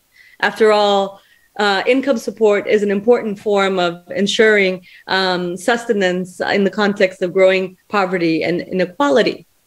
What is shocking, however, is that a reformist policy that largely leaves the terms of capital accumulation unchecked, delink- delinking production and redistribution, has become such an important anchor of contemporary left politics across much of the world. In this context, Turner's take on utopias is particularly refreshing. For what I read is that he sees production and redistribution as two sides of the same coin. As Turner points out in his book, economic power cannot be disassociated from ownership. Given the racialized nature of capitalist development in South Africa, and I would say in Southern Africa as a whole, this involves control over the means of production. In fact, he proposes expropriation without compensation. And ensuring control over the means of production is particularly important because work is the primary form of socialization. And here I quote It is only if the workers participate in the control of the central part of their lives, their work, that they can develop the personal qualities of autonomy, initiative, and self confidence. Now, Turner does not strike me as romantic or politically naive, although um, it would be interesting to hear more from his comrades. He grapples with what he terms various complicating factors of the kind of participatory democracy that he agenda that he proposes. These include the limits of participation, the tendency towards centralization, the dangers of oligarchy. Furthermore, he recognizes that this form of worker control does not exist in a vacuum, that enterprises need to relate with each other and with the world, that the state is important, that state planning is critical to coordinate both production but also redistribution.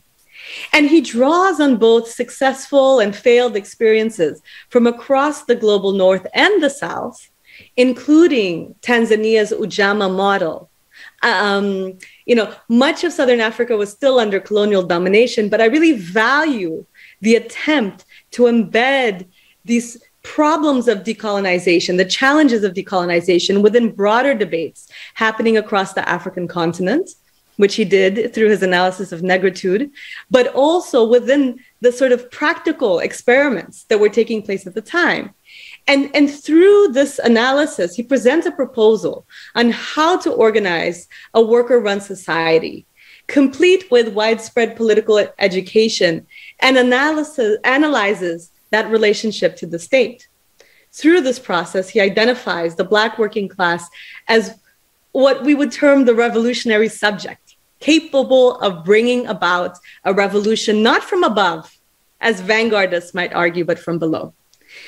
Now, given global restructuring, financialization, automation, who is the revolutionary subject today or subjects?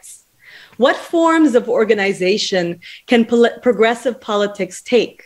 What is the role of organizations of peasants, informal workers, the unemployed, others that are excluded from direct labor capital relations?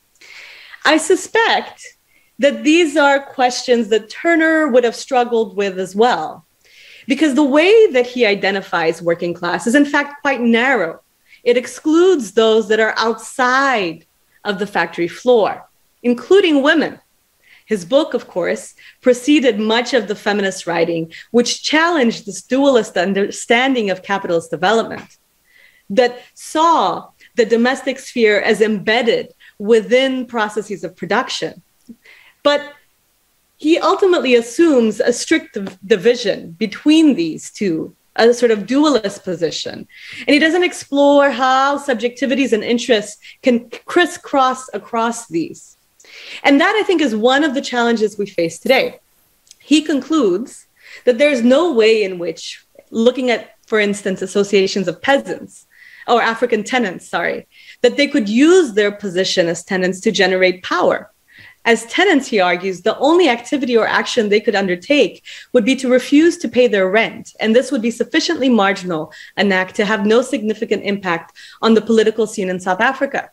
Trade unions arise when the economy has developed to a point where workers have the potential, a strong bargaining power. Now, reading this book at a moment when liberation movements across the continent are facing a profound crisis is particularly poignant.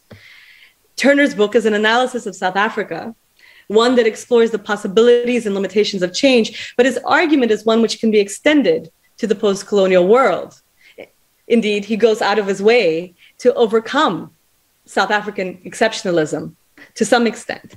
He both challenges liberal proposals for racial integration, which he argued would leave the roots of oppression and exploitation uncontested, and statist forms of socialism, rooted in political vanguardism and central planning. But the trade union movement he identifies are increasingly fragmented, discarded as the legitimate representatives of the interests and aspirations of the people. And so, what does popular democracy look like? And I leave you with that question today. Thank you. A continua.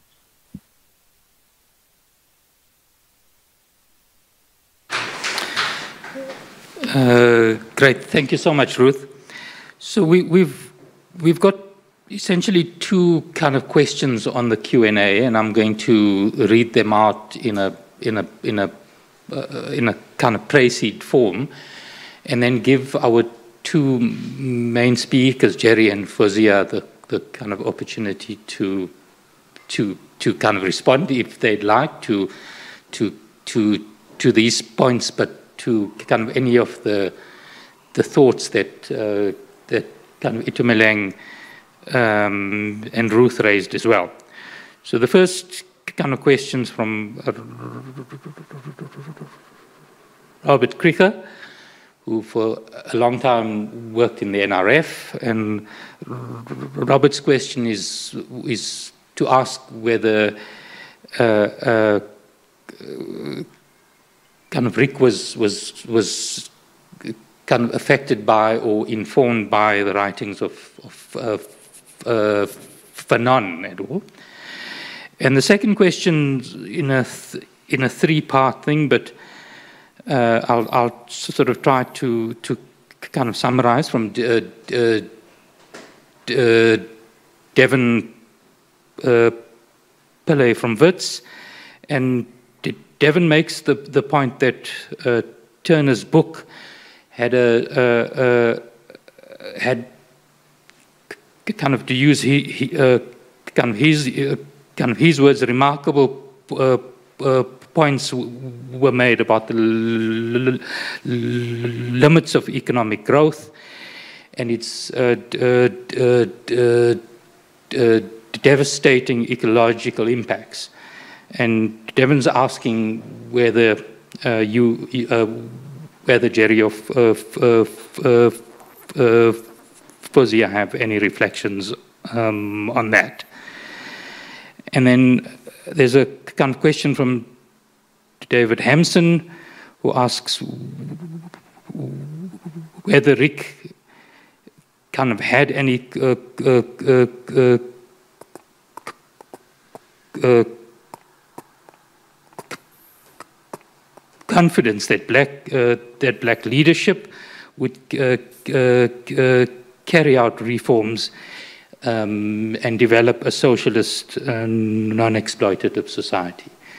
So just to kind of invert things slightly, I'm going to suggest that we, we take some responses first from uh, uh, Foszia, then we can, we can come to Jerry, and then we'll have a few final remarks from uh, kind of Eddie and Mark to close off the evening. Uh, so over to you, uh, uh, uh, Foszia, if, you, um, if you'd like to deal with any of those. Um, Robert, uh, Frantz Fanon, yes, Frantz Fanon did play uh, a, role in, in Rick's thinking, uh, especially um, he gave, um, he introduced Fanon to his political science students. He also, in his talk on Black Power at UND, he included uh, the work of Fanon, especially the concept of negritude and how the consciousness of the colonized is still trapped within the, the relationship imposed on them by the colonizers. Um, so that, yeah, definitely uh, influenced. And that thinking comes into his um, talking about Black Power and how it's not just um, the question of uh, a statement of your value, but also looking at how much of the colonization process, how much of the, the domination process by the whites have, have been internalized by you. We don't escape the consequences of racism, of colonization. Uh, it works both ways. And I don't know if that is satisfying, Robert, but we can have that argument. We can continue it later. Uh, the other one, David Hampson. Uh, so, confidence in Black leadership per se, without qualification, how can you have confidence in a category as broad as that? You have confidence in people willing to look at what it is they want, looking at the kind of society they want, looking at to what extent they have taken responsibility for how they have behaved in the process of achieving their roles, getting to the leadership position. Many of the leaders um, have been raised on oppositional thinking. We have been against, not so much for, there has been the, the Freedom Charter, but the fleshing out of the Freedom Charter, exactly how the, the future would look, exactly how the looking at the future, how that would affect us, what would we have to become to achieve that future? Um, that's nowhere there, and you can't have confidence in in a in a vague group of people who have not addressed the issue. Leadership in itself does not deliver the kind of confidence to create the reforms needed to develop a socialist, non exploitative society. And yeah, and Devan, yes, the whole thing about limits to growth, uh, the quote that I read at the end, very much part of um, Rick's thinking about what we do to our planet and the importance of caretaking and the utilization of resources. We don't have to have this huge house. We don't have to have the, the yacht. We don't have to consume more, um, uh, hold on to more than we can consume. We, our values are so skewed. If we think more about how we redistribute resources and maybe move away from me first, we can have the sense of taking care of not only ourselves and our communities, but of the environment itself. And I just want to say something uh, in response to Ruth uh, that the eye of the needle is, he addresses to whites because whites were the problem. And, and that was the, the, the, the reason for the eye of the needle. The analysis is an analysis of power, of a power structure, and how you engage with a power structure that is entrenched and is very resistant to change. Um, that's what I think I want to say right now.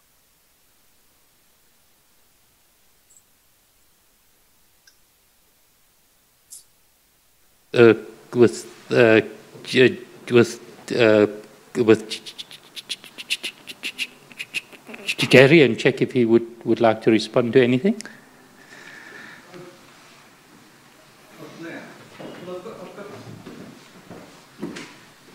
I've got nothing to add to that. The only thing is coincidentally, coincidentally, Fanon. Um, Wretched of the Earth was published 60 years ago last year. And they've brought out a, the same edition with the same introduction by Jean Paul Sartre and other stuff added to it. And I saw a review by Kwame Appiah, and that's how I was alerted to that. That's the only thing that I can add. Thanks, Imran. Great. Uh, thank you so much, Imran, Sherry. I just want to say one thing. Sure. Imran, I just want to say Yes, one thing. Yes, over to you, Foszia. Um, Frantz Fanon's wife, Josie, came to South Africa and visited us, and we talked about the book and talked about how what Fanon was talking about and what we were talking about in South Africa, how they meshed, and about how we have to be careful of Black consciousness becoming a middle class um, slogan rather than a reworking of identity.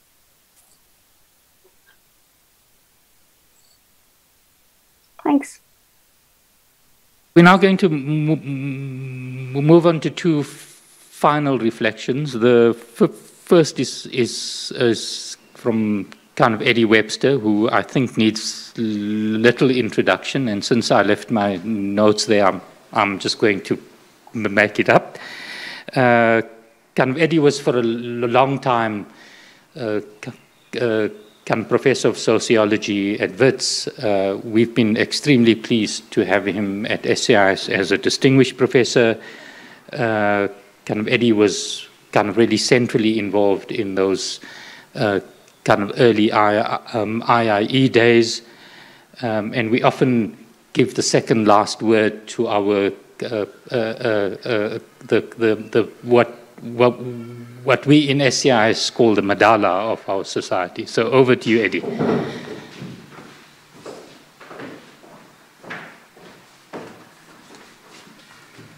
Right. Thank you, uh, Imran. Colleagues, uh, comrades, friends, and particularly Foszia. It's wonderful to hear you again. There are moments uh, in our violent but divided past when black and white South Africans have crafted a vision that transcended the narrow roles each had been placed in by the architects of apartheid.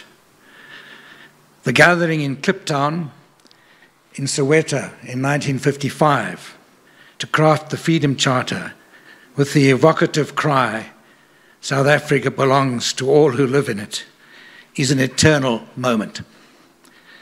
The coming together of workers and students in Durban in the early 70s is another such moment.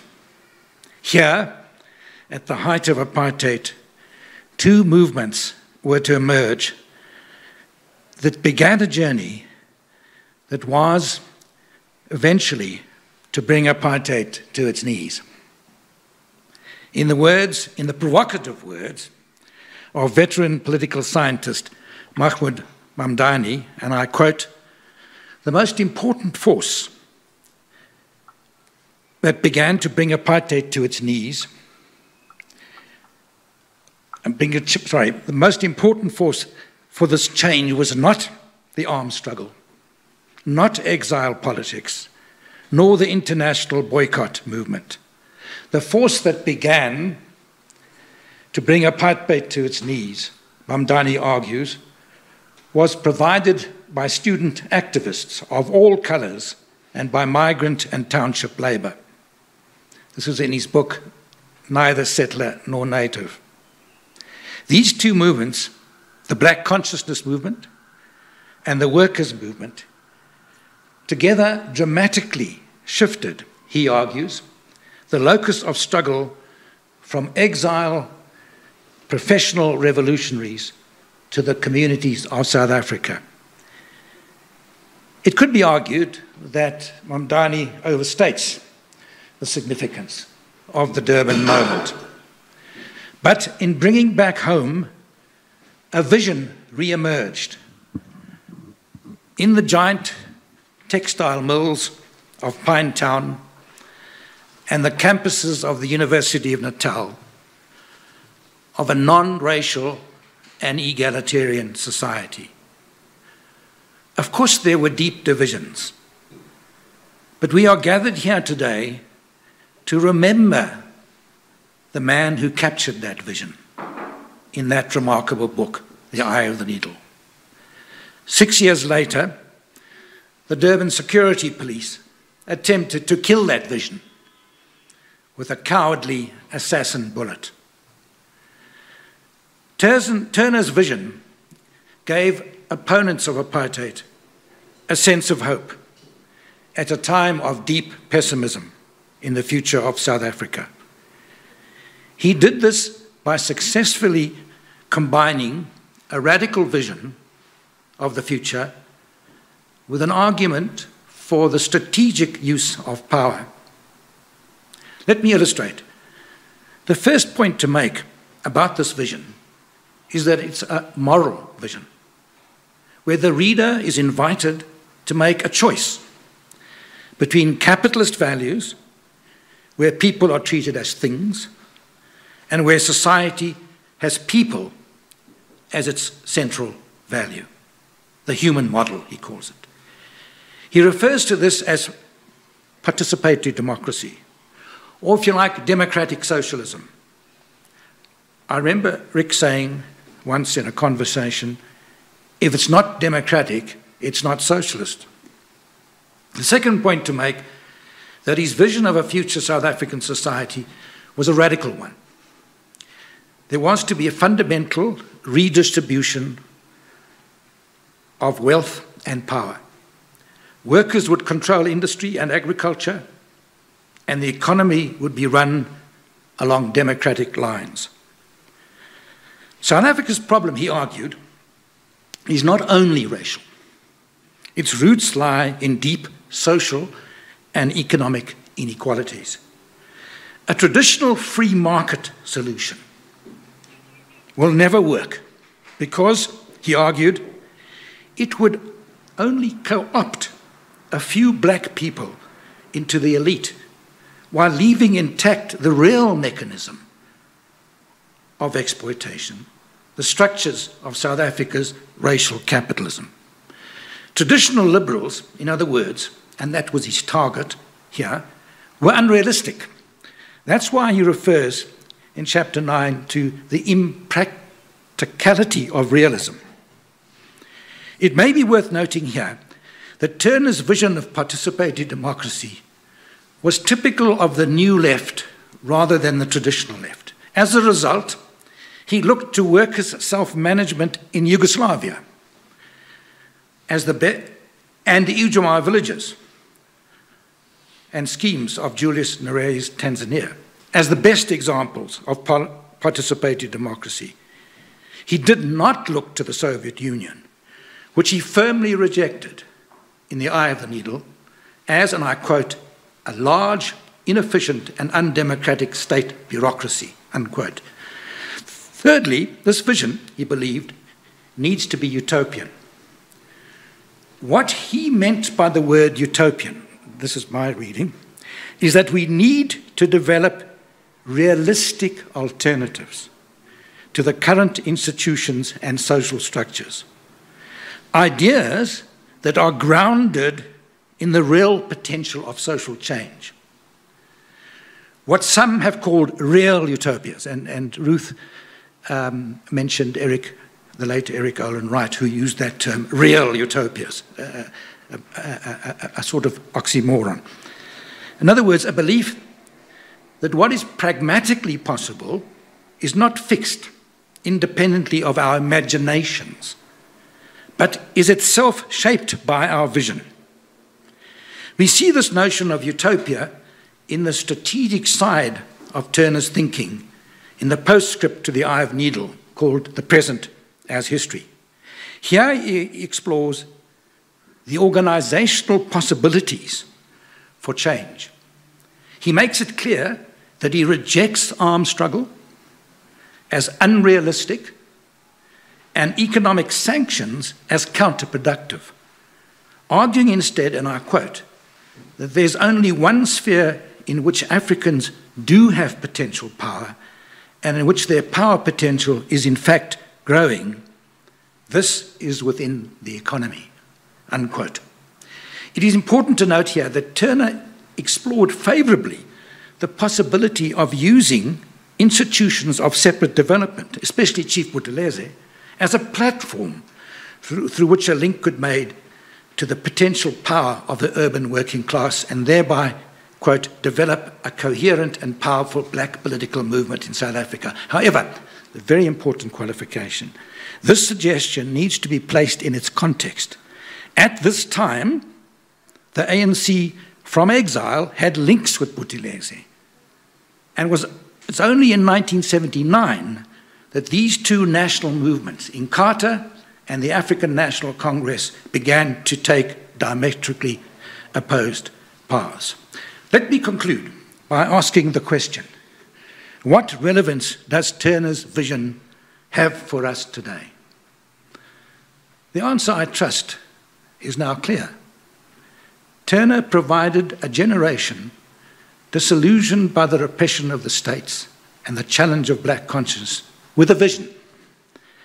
A vision of what a new, non racial, ecologically sensitive, and egalitarian South Africa could become. And he provided a strategy of how we could begin to reach it. Much has changed in the world of politics and the world of work over the last 50 years but the enduring legacy of Rick Turner, and indeed to defy the assassin's bullet, we must continue to raise the critical questions that define his intellectual project. Above all, we need to take forward the moral vision that underlies his writings. Thank you.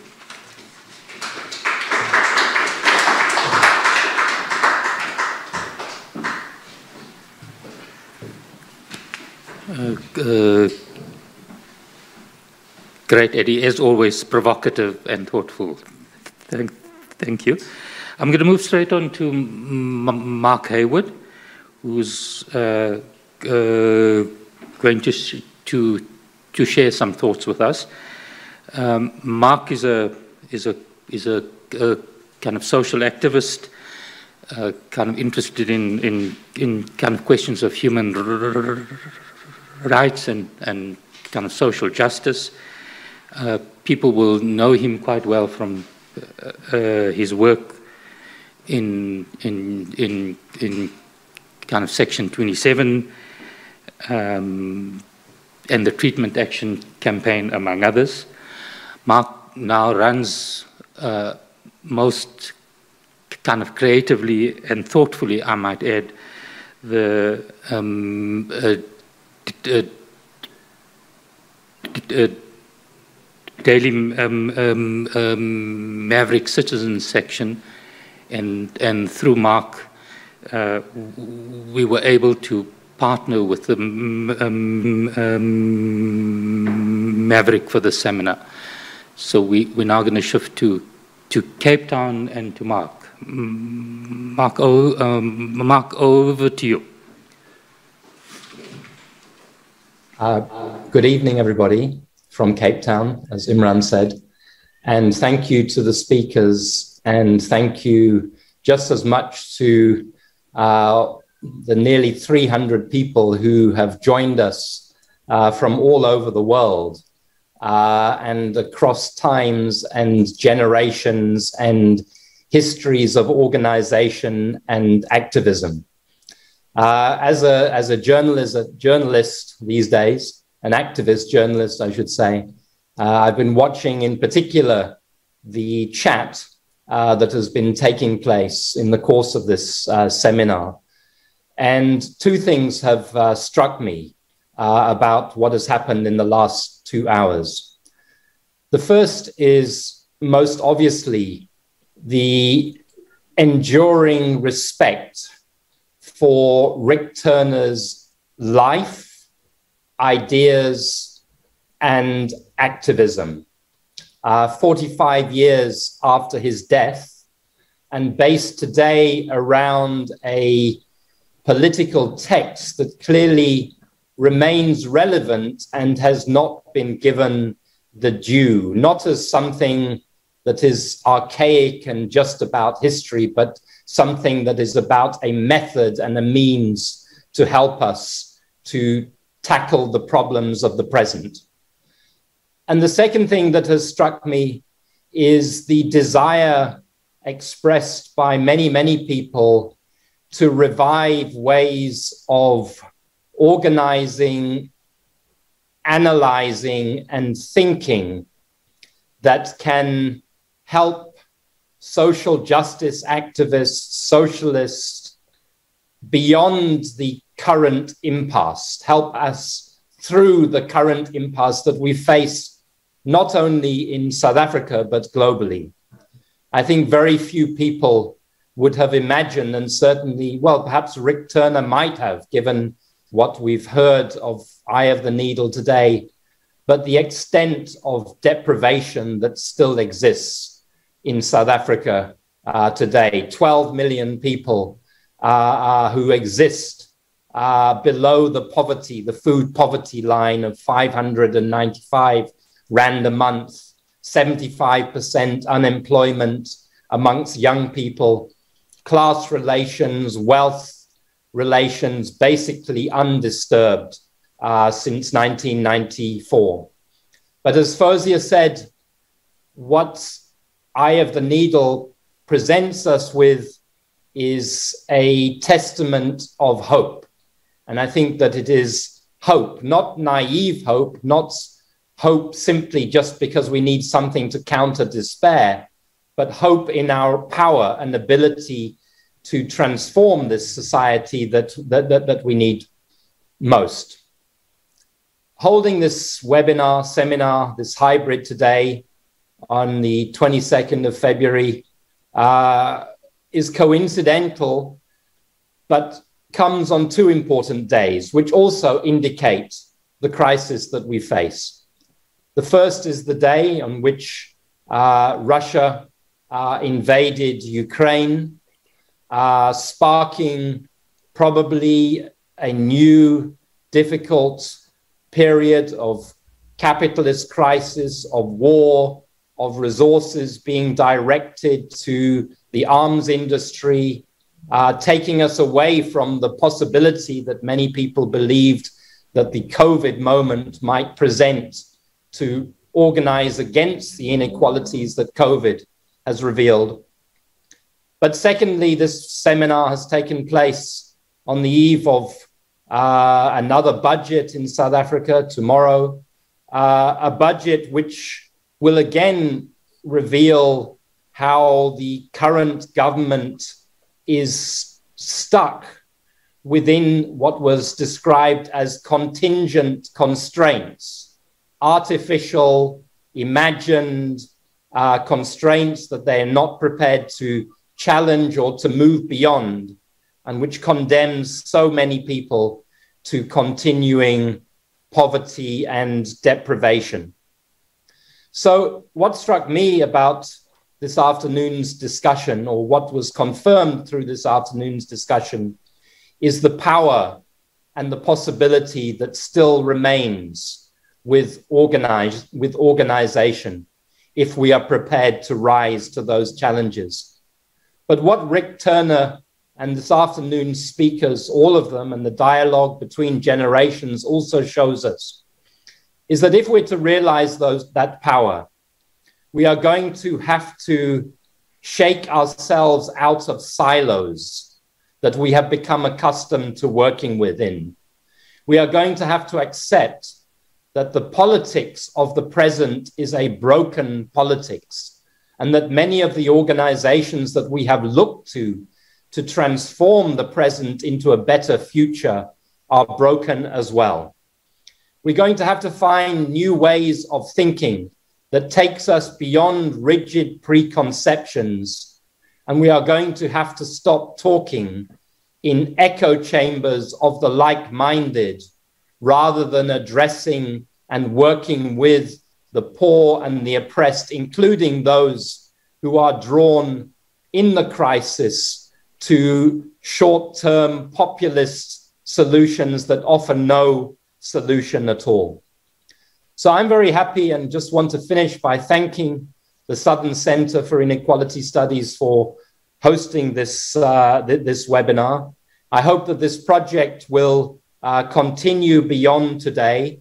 There was talk in the chat about an oral history, about collecting the works of Richard Turner, works that have not been read, works that have not been published, about the importance of using Rick to catalyze intergenerational conversations about how we change the present that we that we exist in.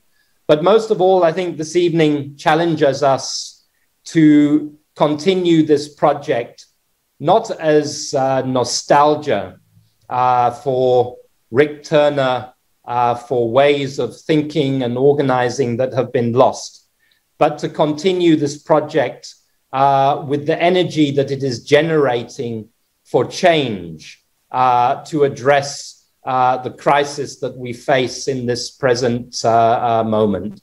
So, thank you, everybody, very, very much uh, for being part of this discussion. And with those few words, I will hand back to Imran.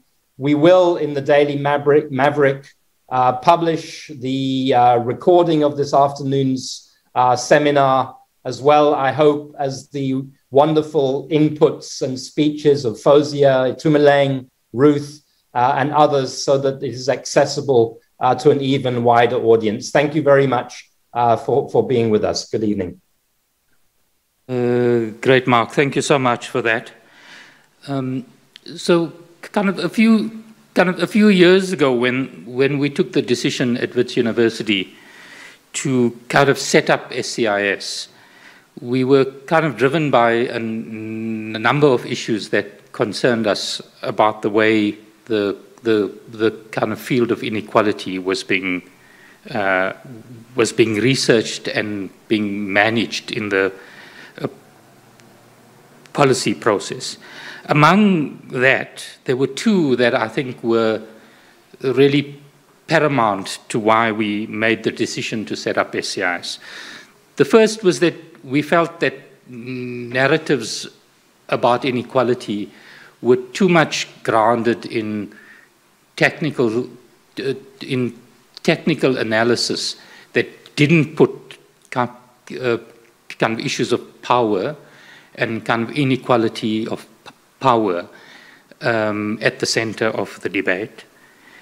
Um, and secondly, we felt that the importance of, of context and, and kind of rigorous research in trying to kind of understand the problem and to imagine and work systematically at a plan for a more equal society was something that was really important.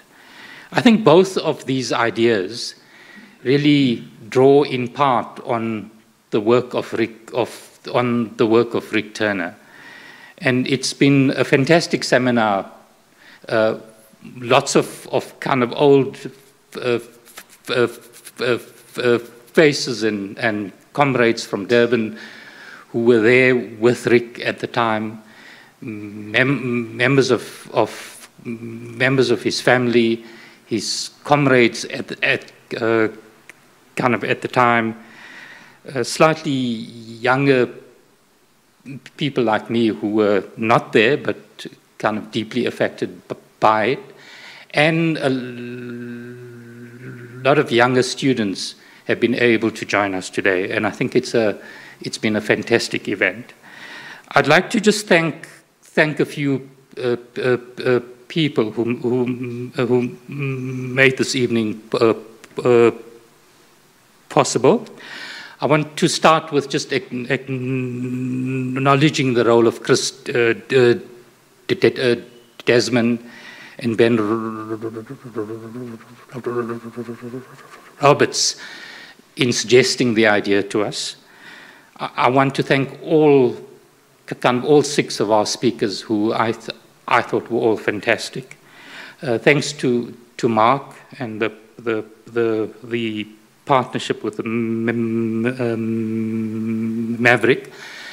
But in kind of closing, a really, really special thank you to the SAI's team who made, uh, who um, um, made the event happen today without all of the work that they've done to make sure that the speakers were kind of in the right place, that the technology worked as brilliantly as, as, as it did, um, I don't think tonight would have happened. So thank you to all of them. Uh, so kind of friends uh, kind of in the room and kind of everyone online, thank you so much for joining us today. Look out for more SCIS uh, uh, kind of research and events. And with that, uh, let me then close the evening. Uh, thank you all. Have a good evening.